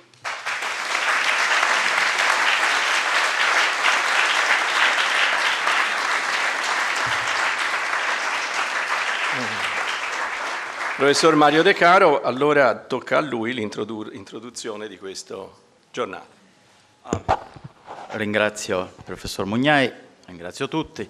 Naturalmente sono onorato ogni volta che vengo alla normale, in particolare oggi, per un'occasione così importante. Sono anche ammirato dal fatto che, contrariamente a ciò che avviene nel, nella città in cui vivo, cioè Roma, qui non solo si comincia puntuali, ma si comincia addirittura con mezz'ora d'anticipo. Quindi io sono arrivato che professor Mugnai aveva già cominciato la sua introduzione non vorrei dire cose che vanno contro quello che ha detto lui. Speriamo di no. In più mi ha dato un compito che è veramente abbastanza eh, intimidante, ossia l'idea che dovrei dimostrare che la filosofia non è necessariamente noiosa, questo è per... vedremo. Dunque, il libero arbitrio. Immaginiamo una situazione di questo tipo, immaginiamo di trovarci in un processo in corte d'assise, in cui, come sapete, in Italia c'è la giuria popolare, e di far parte della giuria. Immaginiamo che sia arrivato il momento finale in cui i giurati devono prendere la, la decisione finale per la colpevolezza o, la, o l'innocenza dell'imputato. Noi, essendo parte della giuria, ognuno di noi ripensa tutto il processo, alle arringhe, alle deposizioni dei testimoni, alle dichiarazioni degli imputati, in generale a tutto quello che abbiamo vissuto durante questo, questo processo. Alla fine votiamo. Alla fine esprimiamo la nostra decisione con un'azione, cioè votare. Ecco, se c'è un momento in cui noi pensiamo che la facoltà del libero arbitrio si esercita, è in una situazione di questo tipo. Noi pensiamo di esprimere veramente quello che, che vogliamo con il voto. Ma perché è una situazione in cui, qual è la condizione per cui pensiamo che in questo caso siamo, siamo eserci, stiamo esercitando il nostro libero arbitrio? Beh, perché si danno due condizioni, che non sempre si danno ovviamente quando agiamo. La prima è che di fronte a noi si aprono due alternative, votare per l'innocenza e votare per la colpevolezza. Non basta però questa condizione, ci vuole qualche altra cosa.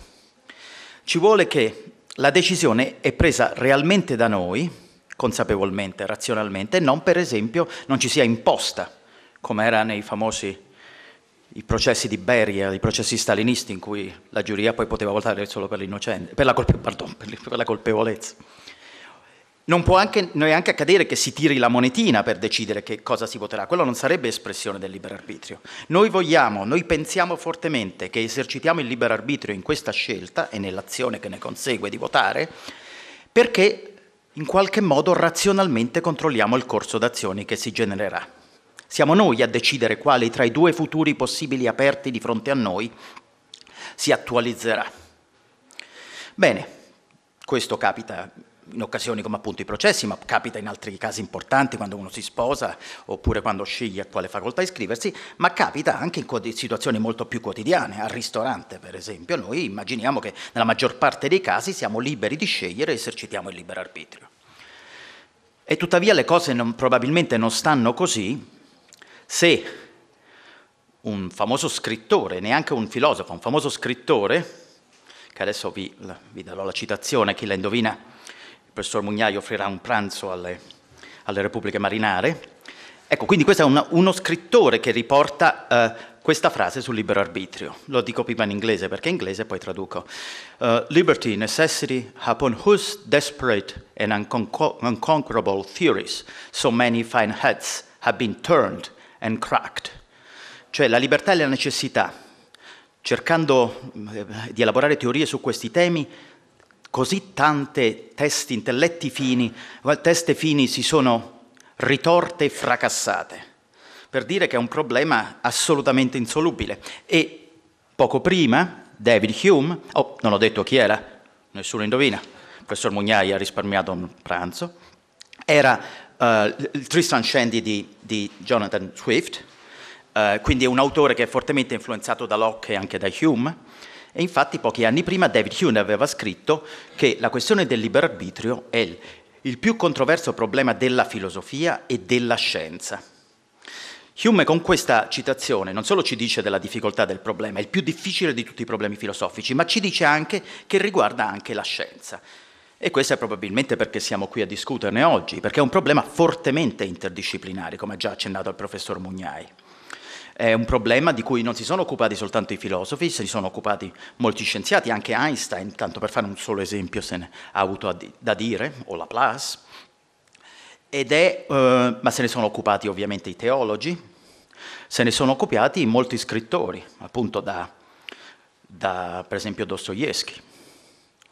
E se ne sono occupati anche molti artisti, per esempio in cinema autori come Kubrick con Arancia Meccanica è fondamentalmente un, un film su questo tema o Minority Report di Spielberg per venire a anni più recenti.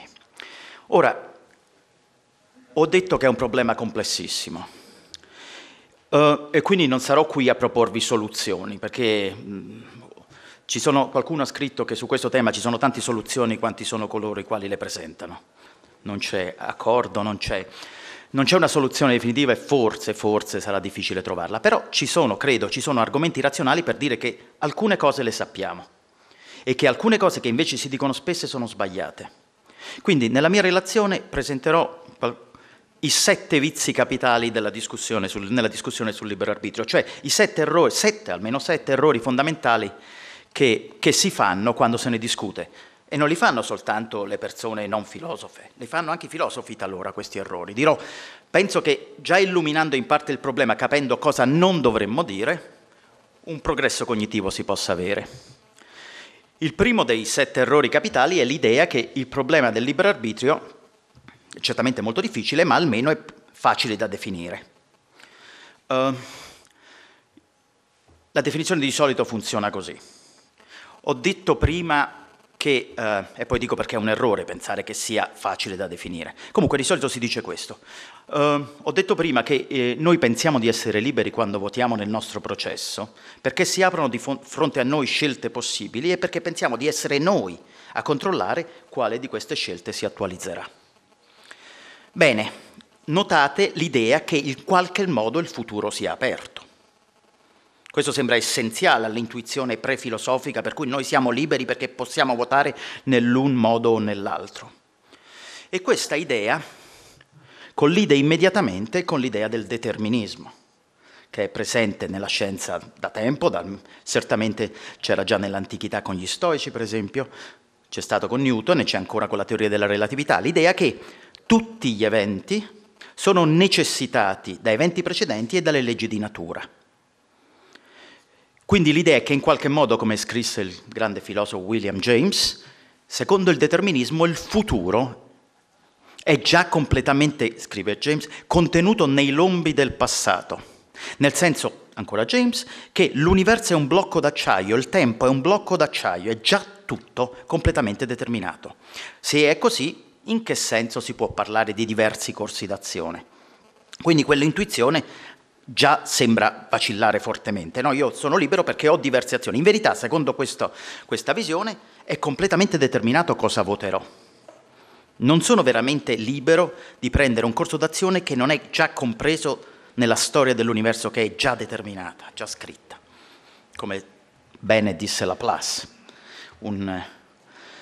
Bene, questo è quindi il libero arbitrio sembra col, eh, collidere con l'idea del determinismo qualcuno, i più sagaci tra i presenti, diranno, beh, vabbè, in fondo non ci dobbiamo tanto preoccupare. Sappiamo bene che a livello subatomico le leggi della meccanica quantistica sono indeterministiche, ovvero il determinismo, quando si va a livello subatomico, non è vero. Non è vero che tutti gli eventi sono determinati dal passato, dallo stato del passato, dallo stato dell'universo nel passato e dalle leggi di natura. Quindi potrebbe essere, alcuni lo hanno asserito, per esempio eh, Roger Penrose, famoso scienziato, o John Searle, famoso filosofo, forse, forse sull'indeterminismo possiamo fare affidamento, forse anche nel cervello ci sono, riverbera in qualche modo, magari per meccanismi di complessità, l'indeterminismo quantistico. Questa è una tesi discussa. Il problema è che anche questa tesi non basta a salvare l'idea di, in sé almeno, a salvare l'idea di libero arbitrio. Perché prima ho detto che sono due le condizioni della libertà. Il fatto che, che a noi si aprano futuri diversi, e questo si può dare se l'indeterminismo è vero, perché non è determinato quale futuro si attualizzerà. Ma ho anche detto un'altra cosa. Ho detto che dobbiamo, noi vogliamo pensare che siamo noi che controlliamo quali dei futuri possibili si attualizzerà. Ora, se è vero l'indeterminismo, Significa, significa, che gli eventi futuri, quando sono indeterminati, non sono determinati da nulla e quindi neanche da noi. Se è così, noi non possiamo incidere su ciò che accadrà, perché ciò che accadrà è totalmente indeterminato. Quindi, se è vero l'indeterminismo, si perde la possibilità dei futuri aperti, che sembra essenziale per il libero arbitrio. Se è vero l'indeterminismo, si perde la possibilità di controllare quale dei futuri possibili si attualizzerà.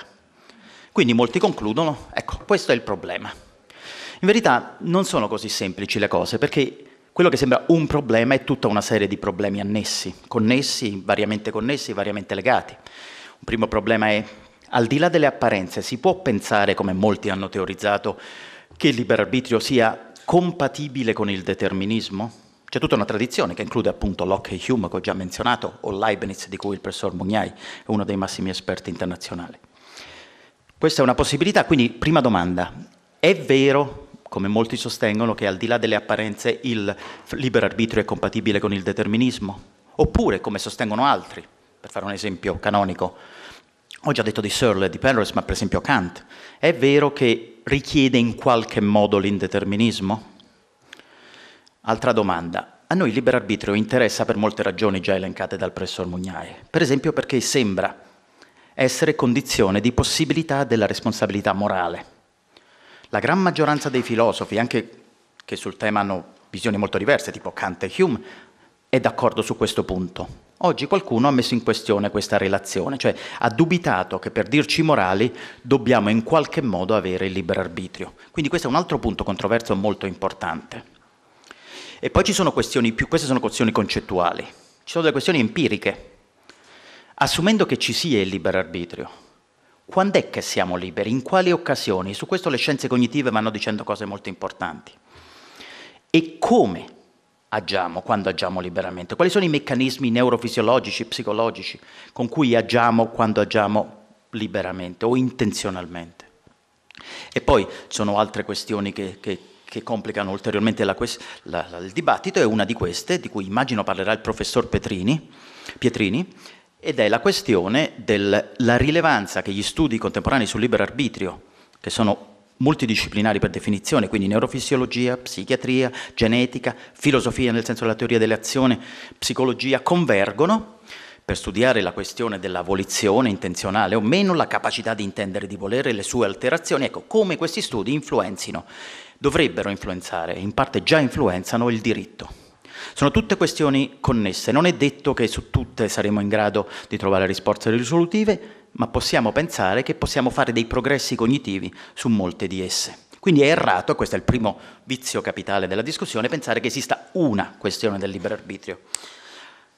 La seconda è, la seco, il secondo vizio capitale è questo, il problema del libero arbitrio è interessante solo per i filosofi, chi se ne importa? Io mi sento libero, questo basta, penso che gli altri siano liberi. In verità non è così. Questo è già implicito in quanto ho detto io, in quanto ha detto Massimo Mugnai. Il caso della responsabilità morale è ovvio, noi non attribuiamo responsabilità morale a qualcuno a cui non attribuiamo il libero arbitrio di solito. Pensate a un bambino di due anni che rompe un prezioso vaso, vaso cinese, apparentemente lo fa intenzionalmente, ma in verità non ha le coordinate per capire che quella cosa non si fa, non ha veramente controllo razionale su ciò che sta facendo. Viceversa, persone con patologie particolari, per esempio i cleptomani, sono generalmente scusati, per, almeno parte, in parte scusati, per le loro azioni. Quindi sia la responsabilità morale sia la responsabilità penale fortemente, cambiano fortemente i nostri giudizi a seconda che si eserciti il libero arbitrio o meno, quindi a forziori a seconda che vi sia il libero arbitrio o meno. Um, quindi non è una questione che possa interessare soltanto i filosofi. Uh, fate, permettetemi una citazione, da, questo ve lo dico, pertanto se non lo indovinate poi tocca pagare il pranzo, per questo. È impossibile non indovinare, Dante a Purgatorio. Qui definisce il nesso tra libero arbitrio e responsabilità morale. Dante scrive, lo cielo, i vostri movimenti inizia, non dico tutti, ma posto che il dica, lume vedato a bene e malizia, e libero voler, che se fatica nelle prime battaglie col ciel dura, poi vince tutto se ben si notrica. Cosa vuole dire? Esiste la, la necessità naturale, lui dice i movimenti dei cieli.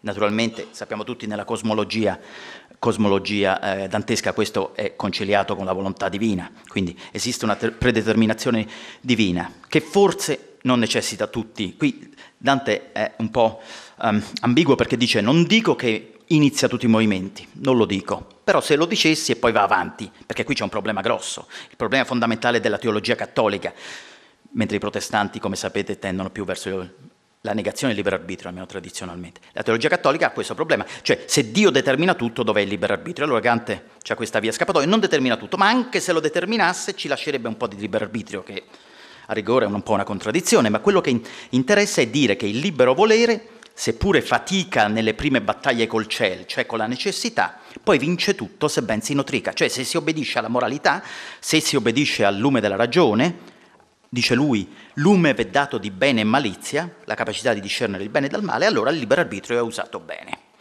Quindi Dante insiste sul nesso concettuale tra libero arbitrio e responsabilità morale. Bene, allora il primo punto, il primo vizio capitale era l'idea che è un problema unico, non è così, non è un problema univoco, il secondo era che interessa solo i filosofi, assolutamente non è così. Il terzo punto è una, eh, questo ho trovato questa citazione in un ottimo filosofo, Roderick Chisholm, che ha scritto contributi importanti sul tema, però ha detto una cosa, secondo me errata, che poi viene spesso ripetuta, ossia l'idea, sì va bene, ma qualunque posizione si prenda oggi sul libero arbitrio, in verità qualcuno l'ha già presa in passato. Non c'è un vero progresso su questo tema. Ecco, io questo non lo credo. Negli ultimi 30 anni in particolare, soprattutto in ambito anglo-americano, ormai anche da noi, soprattutto sia, per, diciamo così, sia in campo di filosofia pura, quindi analisi concettuale, sia nel campo all'intersezione tra scienze cognitive, neuroscienze, genetica e filosofia, ci sono stati notevoli progressi cognitivi sul tema. Intanto si sono rigorizzati fortemente i termini in gioco. In secondo luogo si sono date tassonomie molto rigorose delle posizioni che si possono prendere sul tema. Sono state definite allora permettetemi dare un paio di ismi, come fanno i filosofi, cioè posizioni che racchiudono tutta una serie di opinioni sul tema del libero arbitrio. In parte vi ho già accennato. Il primo è il cosiddetto compatibilismo, ossia l'idea per cui il libero arbitrio, al di là delle apparenze, è compatibile con la determinazione naturale, con il determinismo. Che significa? Come può essere che se uno è determinato è libero? Beh, immaginiamo questa è l'idea. Eh? Uh, voi andate al ristorante oggi, vi chiedono volete il risotto o la pasta e voi pensate e dite volete la pasta. Ora, se è vero il determinismo, voi solo quello potevate dire, che volevate la pasta, e tuttavia voi la volevate la pasta, vi portano la pasta. Allora un compatibilista come Hume verrebbe e direbbe scusa, tu volevi la pasta, hai avuto la pasta, che altro vuoi dalla libertà? Qui si innesta un dibattito che è cruciale nella, nella, in questa discussione, cioè i compatibilisti dicono che non c'è altro da chiedere al libero arbitrio, non si parla veramente di volontà libera, dicono, perché la volontà non è libera, è determinata, io solo la pasta posso volere, ma si parla di azione libera. Perché l'azione qui è quella di dire voglio la pasta e mangiare la pasta, questa è l'azione ed è libera non perché avessi potuto farne un'altra, ma perché è quello che volevo fare. Cioè un'azione che è causata dalle mie volizioni intenzionali, razionalmente, eccetera, quella è un'azione libera. Quindi secondo questa tradizione, che ripeto, include Locke, Hume, Leibniz e molti filosofi contemporanei, per esempio oggi Dennett. Secondo questa tradizione, quello che conta veramente è se siamo noi, la nostra volontà pur determinata, a causare le azioni o le scelte che compiamo. Quindi ciò che conta è questo nesso causale, anche se non ho alternative. Questa è la posizione dei compatibilisti.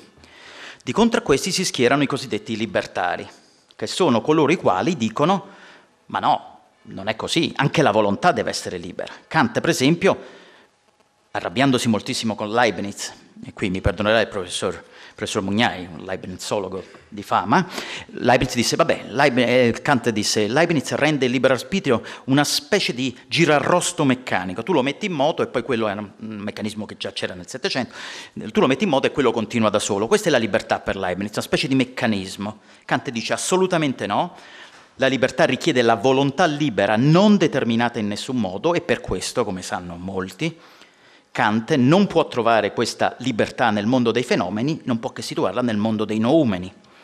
Altri sono più ottimisti, cercano di mettere questa, l'indeterminismo necessario, per esempio negli eventi cerebrali, tipo Penrose. Insomma, in qualche parte però i libertari dicono necessita che il determinismo naturale si rompa, che ci siano delle lacune perché accada che ci sia la libertà, che si possa esercitare il libero arbitrio. Quindi questa è la grande distinzione tra coloro i quali credono che il libero arbitrio esista.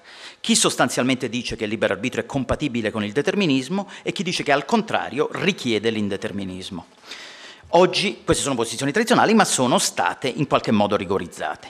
Soprattutto sono stati offerti argomenti oggi, recentemente, contro, argomenti critici contro alcune di queste visioni. Adesso non posso entrare nel, nel merito, anche perché sennò la famosa idea che i professori devono, di filosofia non devono essere noiosi verrebbe immediatamente falsificata.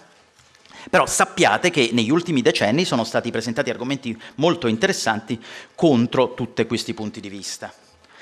Soprattutto negli ultimi, diciamo, 30 anni sono state presentate, è stata presentata numerose, eh, um, numerosa eviden- ampia evidenza scientifica, neurofisiologica e psicologica sui meccanismi in cui il libero arbitrio, assumendo che ci sia, viene limitato. Uh, su questo torno tra un attimo.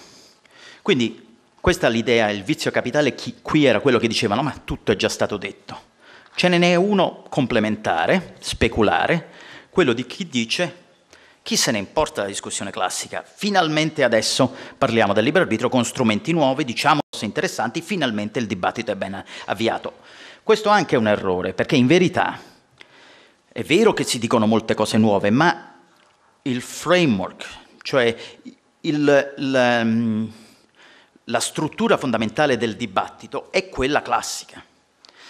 Esattamente come si discuteva nel Settecento tra compatibilisti e libertari, si fa così ancora oggi, semplicemente le posizioni sono affinate, gli argomenti a favore e contro sono più rigorosi, però è vero che la struttura è la stessa, dirò di più, ci sono delle fortissime affinità nel dibattito contemporaneo sul libero arbitrio nel senso naturalistico, cioè come possiamo essere liberi nel mondo della natura. Ecco, il modo in cui si discute questa questione oggi è strutturalmente, dal punto di vista strutturale, concettuale puro, ha molte analogie con il dibattito teologico, cioè come possiamo essere liberi dato il fatto che Dio può prevedere, ovviamente sa tutto, quindi sa cosa farò e addirittura la provvidenza divina ha già organizzato il mondo, secondo alcuni, per cui io posso fare solo alcune cose. Bene, la struttura dei due dibattiti, delle due discussioni, libero arbitrio naturalistico e libero arbitrio teologico, è molto simile. La cosa più interessante però credo, per mettere in questione questo, questo, vizio capitale, cioè l'idea che tutto sia nuovo, e che veramente le posizioni che si difendono oggi hanno antecedenti storici rilevantissimi. Per esempio ho parlato del libertarismo, cioè l'idea che il determinismo da qualche parte sta. Ecco, due, ne menziono per esempio il famoso filosofo Duns Scoto, scolastico, oppure Kant, ma vorrei citare un altro autore. Lo vorrei citare perché questa è un'acquisizione piuttosto recente. Eh, diciamo che è un libro che è uscito lo scorso anno, che ha dimostrato che questo autore appartiene alla tradizione libertaria, cioè situa il libero arbitrio nel... ritiene che il libero arbitrio richieda l'indeterminismo. Questo autore è Machiavelli.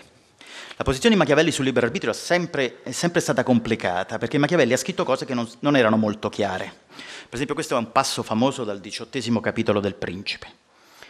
Molti hanno avuto ed hanno opinione che le cose del mondo siano in modo governate dalla fortuna e da Dio, che gli uomini con la prudenza loro non possino correggerle, anzi, non vi abbino remedio alcuno.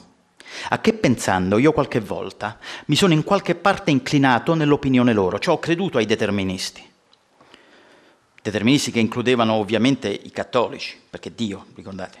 Però poi dice, non di manco perché il nostro arbitrio non sia spento, Giudico potessere essere vero che la fortuna si arbitra della metà delle azioni nostre, ma che etiam lei ne lasci governare l'altra metà, oppresso o circa a noi. Cioè, la fortuna o Dio, questa indiadi che va discussa, come mai mette fortuna e Dio insieme in Machiavelli, questa è una questione a parte. Però in generale il, il determinismo naturale non è mai completo, è solo metà delle nostre azioni, per l'altra metà siamo liberi. Ora, per un autore che comunque cerca in qualche modo di mostrarsi ufficialmente compatibile con la tradizione cattolica. Da dove viene questo indeterminismo? Questo non si è mai capito, al punto che alcuni hanno detto che non è vero. Per esempio Maurizio Viroli, eh, un autore importante italiano, ha scritto un libro che si chiama God, Machiavelli's God, lo scorso anno per eh, Princeton University Press, e ha detto, no guardate, Machiavelli in verità era un determinista, era un, un cattolico ortodosso, eh, nel senso che riteneva che Dio prevedesse tutto, che non ci fosse vera contingenza, eh, certo c'è libero arbitrio, ma nel senso che Dio sa cosa faremo, eccetera. Altri hanno detto addirittura, hanno scritto che in verità Machiavelli credeva nell'astrologia. C'è un articolo importante anche che però diceva guardate che il vero moderno era, era Savonarola tra i due, contemporaneo, perché Savonarola non credeva all'astrologia e Machiavelli sì. Non è vero nulla. Ormai è chiaro che da questo, soprattutto da questo libro dello scorso anno, un libro di Alison Brown pubblicato da Harvard University Press che si chiama The Return of Lucretius, il ritorno di Lucrezio, che Machiavelli da questo punto di vista apparteneva a una tradizione filosofica formidabile e maledetta, quella dell'epicureismo. Da giovane Machiavelli, sapete, l'epicureismo era sostanzialmente l'idea che questo è un passo di, di, Lucrezio, il massimo epicureo, quello di cui abbiamo il De Rerum Natura, che è un manifesto dell'epicureismo, rispetto alla volontà libera, diceva fatis avolsa voluntas, la, ve, la volontà che è avulsa dai fatti, che è indipendente dalla necessità naturale. Perché è indipendente? Molti lo sanno, perché secondo Epicuro e Lucrezio e Machiavelli, nel mondo, il mondo è fatto di atomi che obbediscono a leggi rigorose e naturali, però c'è il fenomeno del clinamen, talora gli atomi deviano imprevedibilmente dalla tro- loro traiettoria necessitata e questo fa sì che si innestino meccanismi di contingenza. Si può innestare lì, dice Epicuro, dice Lucrezia, dice Machiavelli, il libero arbitrio. Ora, questo sembrano tutte teorie così se non si trova evidenza testuale. Bene, già 50 anni fa un famoso studioso italiano, Sergio Bertelli, scoprì un manoscritto nella Biblioteca Vaticana di mano di Machiavelli, che aveva copiato tutto il De Rerum Natura di, di, Lucrezio e aveva preso appunti in molte parti, compresa quella su questo meccanismo del clinamen, scrivendo appunti suoi di mano sua sul libero arbitrio. Ora, il, la, la tradizione lucreziana era maledetta perché soprattutto, come sapete, era sostanzialmente percepita come antireligiosa. Lucrezio riteneva, come Epicuro, non erano atei, ma pensavano che gli dei non si interessassero alla natura, la natura fosse autonoma dalle divinità. E questo era intollerabile. Quindi la traduzione epicurea è sempre stata nascosta, però ebbe un momento di fama, di ritorno di fiamma a Firenze quando si riscoprì nel 1417, credo, il manoscritto del De Rerum Natura, ci fu una fortuna crescente, ci furono autori tipo Marsilio Ficino, tipo il cancelliere della Repubblica Florentina eh, Bartolomeo Scala, che era amico del padre Machiavelli, tipo Marcello Adriani, che era il cancelliere della Repubblica quando Machiavelli era segretario ed era stato suo maestro. Bene, tutti questi parlano ampiamente e difendono l'epicureismo. L'epicureismo diventa la dottrina ufficiale dei repubblicani fiorentini, di un, di un gruppo fortissimo capeggiato da, tra l'altro, Lorenzo di Pierfrancesco de' Medici, cioè un, un medici che aveva si era separato dal resto della famiglia, era diventato repubblicano. Bene, questi credono nel libero arbitrio.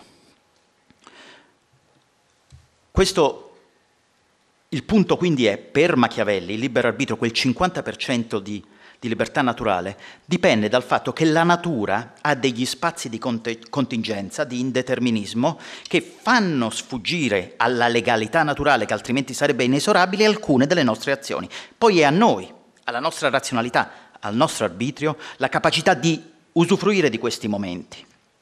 È una visione appunto lucreziana, epicurea, e credo che questo sia uno dei passi avanti più forti, della, più, più, notevoli nella storiografia degli ultimi anni, capire che Machiavelli appartiene a quella tradizione. Ma dicevo, questo stavo criticando il, il, quanti dicono che la discussione contemporanea è del tutto nuova. Machiavelli già aveva l'idea del, ben chiara del dell'indeterminismo, del libertarismo, ma anche le altre tradizioni sono antiche, il compatibilismo, ripeto, l'idea che il determinismo e libertà possano andare assieme, questa è una visione antichissima, molto abbracciata dai teologi cattolici. E anche un'altra tradizione, di cui ancora non ho accennato se non sullo sfondo, ha antesignane antiche, e questa è l'idea che la libertà, il libero arbitrio, sia una mera illusione. Oggi è molto comune, ci sono libri anche scientifici o filos- anche filosofici che dicono la libertà non esiste. Bene, questa è una tradizione antichissima che eh, esiste già nell'antichità, negli stoici per esempio, ripresa da molti autori, dal famoso Pietro Pomponazzi, il cui, che, eh, il cui lascito comunque è poco conosciuto, ma è un grosso filosofo del Rinascimento, fino ad oggi, dove molti, molti degli illuministi Uh, ma molti uh, filosofi contemporanei e scienziati contemporanei ritengono che il libero arbitrio non esista. Questa però è una tradizione antica. Arriviamo alla quinta sette, dei sette vizi capitali, il che significa che siamo a cinque settimi della mia relazione, ci avviciniamo alla fine. Ed è questo il vizio capitale, quelli che dicono sì, sì, la soluzione del, del problema del libero arbitrio è ovvia, ce l'abbiamo, come puoi negarlo? Ecco, io non credo che questo sia un buon modo di, di procedere. Non è ovvio. Se c'è una cosa che è ovvia nel dibattito sul libero arbitrio è che la soluzione non è ovvia. Questo è del tutto ovvio a me almeno. Perché non è ovvio che abbiamo la libertà? Io credo, forte, io credo nell'idea del libero arbitrio, ma credo che non sia affatto ovvia. Credo che ci siano argomenti che la mettono in questione. Quali sono questi argomenti?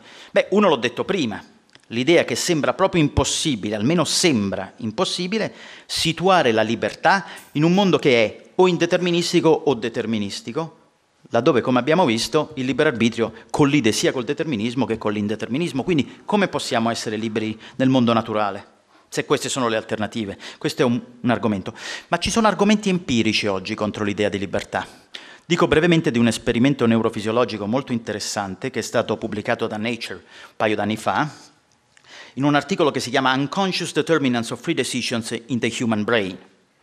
L'idea degli autori qui è che l'idea sostanzialmente, l'idea di libertà sia illusoria, perché loro hanno, hanno, asserito, con una base evidenziale importante, di poter in qualche modo prevedere le decisioni che i soggetti prenderanno da 7 a 10 secondi prima che i soggetti ne diventino consapevoli. L'esperimento è questo. Un soggetto ha di fronte a sé due pulsanti, destro e sinistro, e gli si chiede, rilassati, nel, mostro, nel prossimo minuto, quando sentirai l'impulso a farlo, premi tasto destro o sinistro. Ma in quel momento guarda quell'orologione che c'è davanti, così capiamo quando hai preso la decisione. Bene, guardando alle immagini alle neuroimmagini del soggetto si è scoperto, analizzando l'attività cerebrale, particolarmente nella, nella, nella, corteccia prefrontale parietale, si è scoperto che ci sono dei segnali neurologici tali che si può prevedere, dicono questi autori, in anticipo quale scelta, da 7 a 10 secondi prima, quale scelta il soggetto compirà. Beh, ma se si può prevedere, cioè, quindi se lo scienziato può sapere in anticipo cosa noi sceglieremo, un problema al libero arbitrio lo crea, almeno un problema grosso, però lo crea, insomma, almeno un problema, non so se è una soluzione del dilemma, dubito, però il problema lo crea e questo dimostra che non è ovvio, questo e molti altri esperimenti analoghi, non è ovvio che siamo liberi. E però qui veniamo al, al penultimo dei, dei, vizi capitali, quelli che dicono, ah beh, allora il libero arbitrio non esiste e lo prendono per ovvio proprio alla base di, per esempio, usando un esperimento come quello che ho appena citato. Come si può pensare alla libertà se lo scienziato può sapere prima di me 10 secondi che cosa sceglierò. Bene, bisogna dire che una conclusione di questo tipo è altrettanto inadeguata quanto la precedente, quella che diceva no, siamo liberi sicuramente. Torniamo un attimo sul nostro esperimento. Ripeto, soggetto, al soggetto si chiede di rilassarsi e poi nel minuto successivo, quando sente l'impulso a farlo, premere il tasto destro o sinistra guardando quando prende questa decisione. Quando sente l'impulso, quella è la decisione e lui preme. Tutto questo esperimento ruota e altri analoghi, a cominciare da quelli famosissimi di Libet, ruotano intorno a un punto cruciale. L'idea che la presa di decisione libera, apparentemente, coincide con sentire l'impulso a compiere una certa azione. D'accordo? Quindi l'idea è che la, quella che a noi sembra la eh, volont- libertà soggettiva cioè io soggettivamente mi sento libero di scegliere, in verità oggettivamente non esiste, non ha un corrispettivo oggettivo, non c'è niente nel mondo che corrisponda alla mia idea che io decido, scelgo liberamente. Quindi all'idea soggettiva di libertà non c'è nessun corrispondente oggettivo. Questa è l'idea. In verità io credo che questo esperimento non dimostri affatto tutto ciò. In primo luogo, ripeto, l'idea qual è? L'idea è, l'esperimento si basa sul fatto di premere tasto destro o sinistro quando si sente l'impulso a farlo. Quindi c'è un'identificazione tra sentire l'impulso a premere e la decisione libera.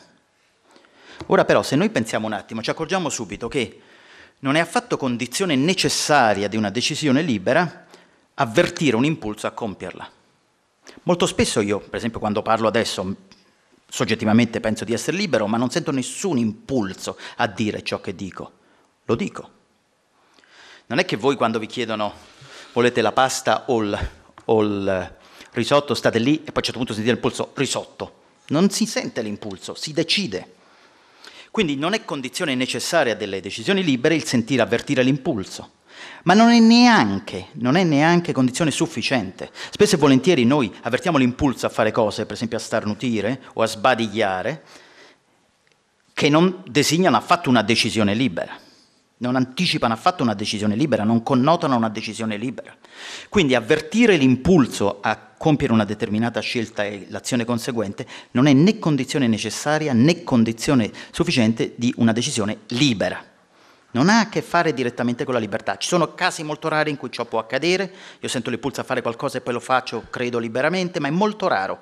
Nella maggior parte dei casi le nostre decisioni, quelle importanti, non sono di questo tipo, non avvertiamo impulsi. C'è di più, ho detto che questo articolo si intitola Unconscious Determinants of Free Decisions in the Human Brain. Io penso che questa decisione di premere tasto destro o sinistro, decisione, non è neanche, non solo non è libera, perché c'è la questione degli impulsi, ma non è neanche una vera decisione, non è una decisione genuina. Cos'è una decisione? Questo lo sa sia il senso comune sia la teoria delle decisioni. Una decisione è una scelta che facciamo in situazione di incertezza, quando ci si aprono alternative possibili, mettendo in gerarchia, in ranking, dal nostro punto di vista, i vari risultati che potremmo ottenere, le preferenze. Noi mettiamo un ranking di tutte le preferenze che abbiamo a fare un'azione o l'altra. Pasta o riso? Ma pasta l'ho avuta ieri, riso però non, qui non lo fanno tanto bene. Insomma, facciamo tutti i ranking e poi decidiamo. Voi mi dovete dire che tipo di ranking c'è quando ti dicono di premere destro o sinistro. Nessun interesse nostro è in gioco qua. Niente che tocchi la nostra vita. Non è una decisione genuina, non facciamo nessun ranking destra-sinistra. Non sorprende che il risultato sia come dire un automatismo prevedibile, perché non mette in gioco niente, non è neanche una vera decisione. Non sto dicendo che questo esperimento è irrilevante, perché dice qualcosa sulla coscienza, dice qualcosa di importante che già si sa da Freud in poi, ma soprattutto le scienze cognitive, la coscienza è spesso opaca a se stessa. In questo caso, per esempio, io mi sbaglio nel pensare di decidere in quel momento, qualcosa avviene nel senso dell'inconscio neurale che fa sì che io decida. Però non è questa questione dirimente per la questione del libero arbitrio, non è per il fatto che io sia, possa errare sul, sul momento in cui prendo la decisione, in questo caso qua, che dimostri che non c'è libero arbitrio. In generale poi il fatto che, che, io non sia cosciente di una scelta che faccio non, affatto, non comporta affatto che quella scelta non sia libera. Per esempio, io adesso mettiamo, il che è pure vero, che io voglia bere il bicchiere d'acqua. Mentre bevo, il professor Pietrini, che vedo pronto all'azione, mi fa una domanda a tradimento e io mi distraggo e comincio a pensare alla risposta, intanto bevo, rispondo e poi mi chiedo, ma ho bevuto? Voi dite, certo che hai bevuto, voi lo sapete meglio di me, io ho bevuto. Quando me lo dite, però, non penso che la scelta di bere sia stata involontaria o non libera, lo volevo fare e l'ho fatto. Non era consapevole la scelta, però l'azione compiuta a me sembra libera. Ciò dimostra che in certi casi, anche se la volontà è opaca, tuttavia la scelta che ne discende e l'azione che ne discende possono essere considerate libere. Quindi esperimenti che provano l'opacità della coscienza a se stessa non necessariamente hanno influenza per il libero arbitrio. Molto si potrebbe discutere su esperimenti di questo tipo, però la conclusione, la morale che voglio trarre, questo è il sesto punto il sesto vizio capitale che voglio contestare è l'idea che le neuroscienze, le scienze cognitive o la genetica avrebbero provato che il libero arbitrio non esiste. Non è così. Ultimo punto, ultimo errore, vizio capitale della discussione. Questo è per esempio teorizzato dal più grande linguista vivente, cioè Noam Chomsky, ma anche da altri autori importanti, per esempio Peter Van Wegen, che si è occupato a lungo di questi temi. Cioè l'idea è questa, Ok, il libero arbitrio è un problema genuino. Perché è un problema genuino? Perché noi non possiamo rinunciare a questa nozione, ma non possiamo provare che è possibile. Non possiamo nemmeno dire che è possibile, non solo che non è reale, non sappiamo neanche se è possibile. E perché non possiamo? Perché, dicono, la nostra specie semplicemente non è abbastanza intelligente. Noi non siamo abbastanza intelligenti, ovviamente c'è una risposta, siccome è vero che abbiamo il libero arbitrio, oppure siccome è vero che ci pare che abbiamo il libero arbitrio, eh, la risposta da qualche parte sta, questo o è vero o è falso, da qualche parte la risposta sta, ma noi non siamo intelligenti e mai saremo intelligenti abbastanza da capire qual è la risposta. Cioè, siamo liberi o no? Mistero, loro dicono, si chiamano misteriani. Qui anche mi piace forse un po' di patriottismo residuo, anche perché i tempi qui nel nostro paese sono ostici, quindi è bene tornare alle, alle radici, ciò che ha fatto l'Italia grande. Questo è un altro grande umanista, Lorenzo Valla, che scriveva Ben difficile e arduo è questo problema e non so se risolto da alcuno, ma non c'è motivo per cui tu debba turbarti e confonderti, confonderti anche se non lo risolverai mai. E forse è giusto irritarsi se non si raggiunge quello che da nessuno si vede raggiunto. Ecco, forse non è giusto irritarsi, come dice Lorenzo Valla, però secondo me non è neanche giusto essere troppo pessimisti. Non è giusto dire che rimarrà sempre un mistero la questione del libero arbitrio, per due ragioni. Primo, chi siamo noi per capire che cosa succederà, se ci saranno ancora gli esseri umani, tra 500 anni o tra mille anni? Poteva la più grande mente di sempre, Aristotele, prevedere quello che avremmo fatto noi nel 2000, la Luna, la comprensione del mondo subatomico? Poteva? No, non poteva prevederlo, non poteva pensarlo possibile. Eppure l'abbiamo fatto. Quindi chi può dire cosa faremo nel corso dei millenni se ci saremo? Ma il secondo punto, più concreto, è che noi de, abbiamo dei notevoli progressi cognitivi nel comprendere alcuni degli aspetti del problema. Non c'è un problema del libero arbitrio, ci sono molte sottoquestioni intricate. Su molte di queste abbiamo fatto notevoli passi in avanti. Passi in avanti che si basano su una storia millenaria ed è come dire un progresso continuo di, se non altro, chiarificazione del problema. Ecco, se c'è una morale da trarre è che forse su questo tema non si può essere troppo pessimisti. Grazie.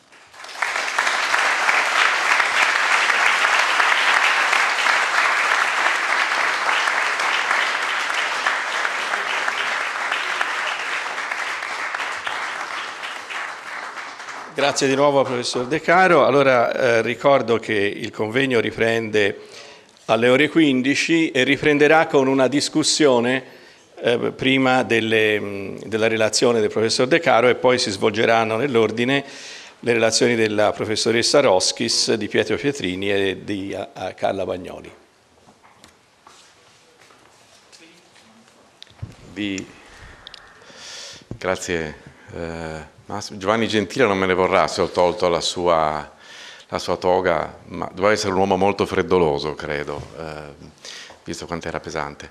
Vi eh, ringrazio molto per aver partecipato a questa, a questa eh, prima parte della giornata. Eh, sareste tutti graditissimi ospiti al piano di sopra, spero possiate eh, fermarvi, ci possiamo vedere in sala degli stemmi per mangiare insieme. Grazie ancora.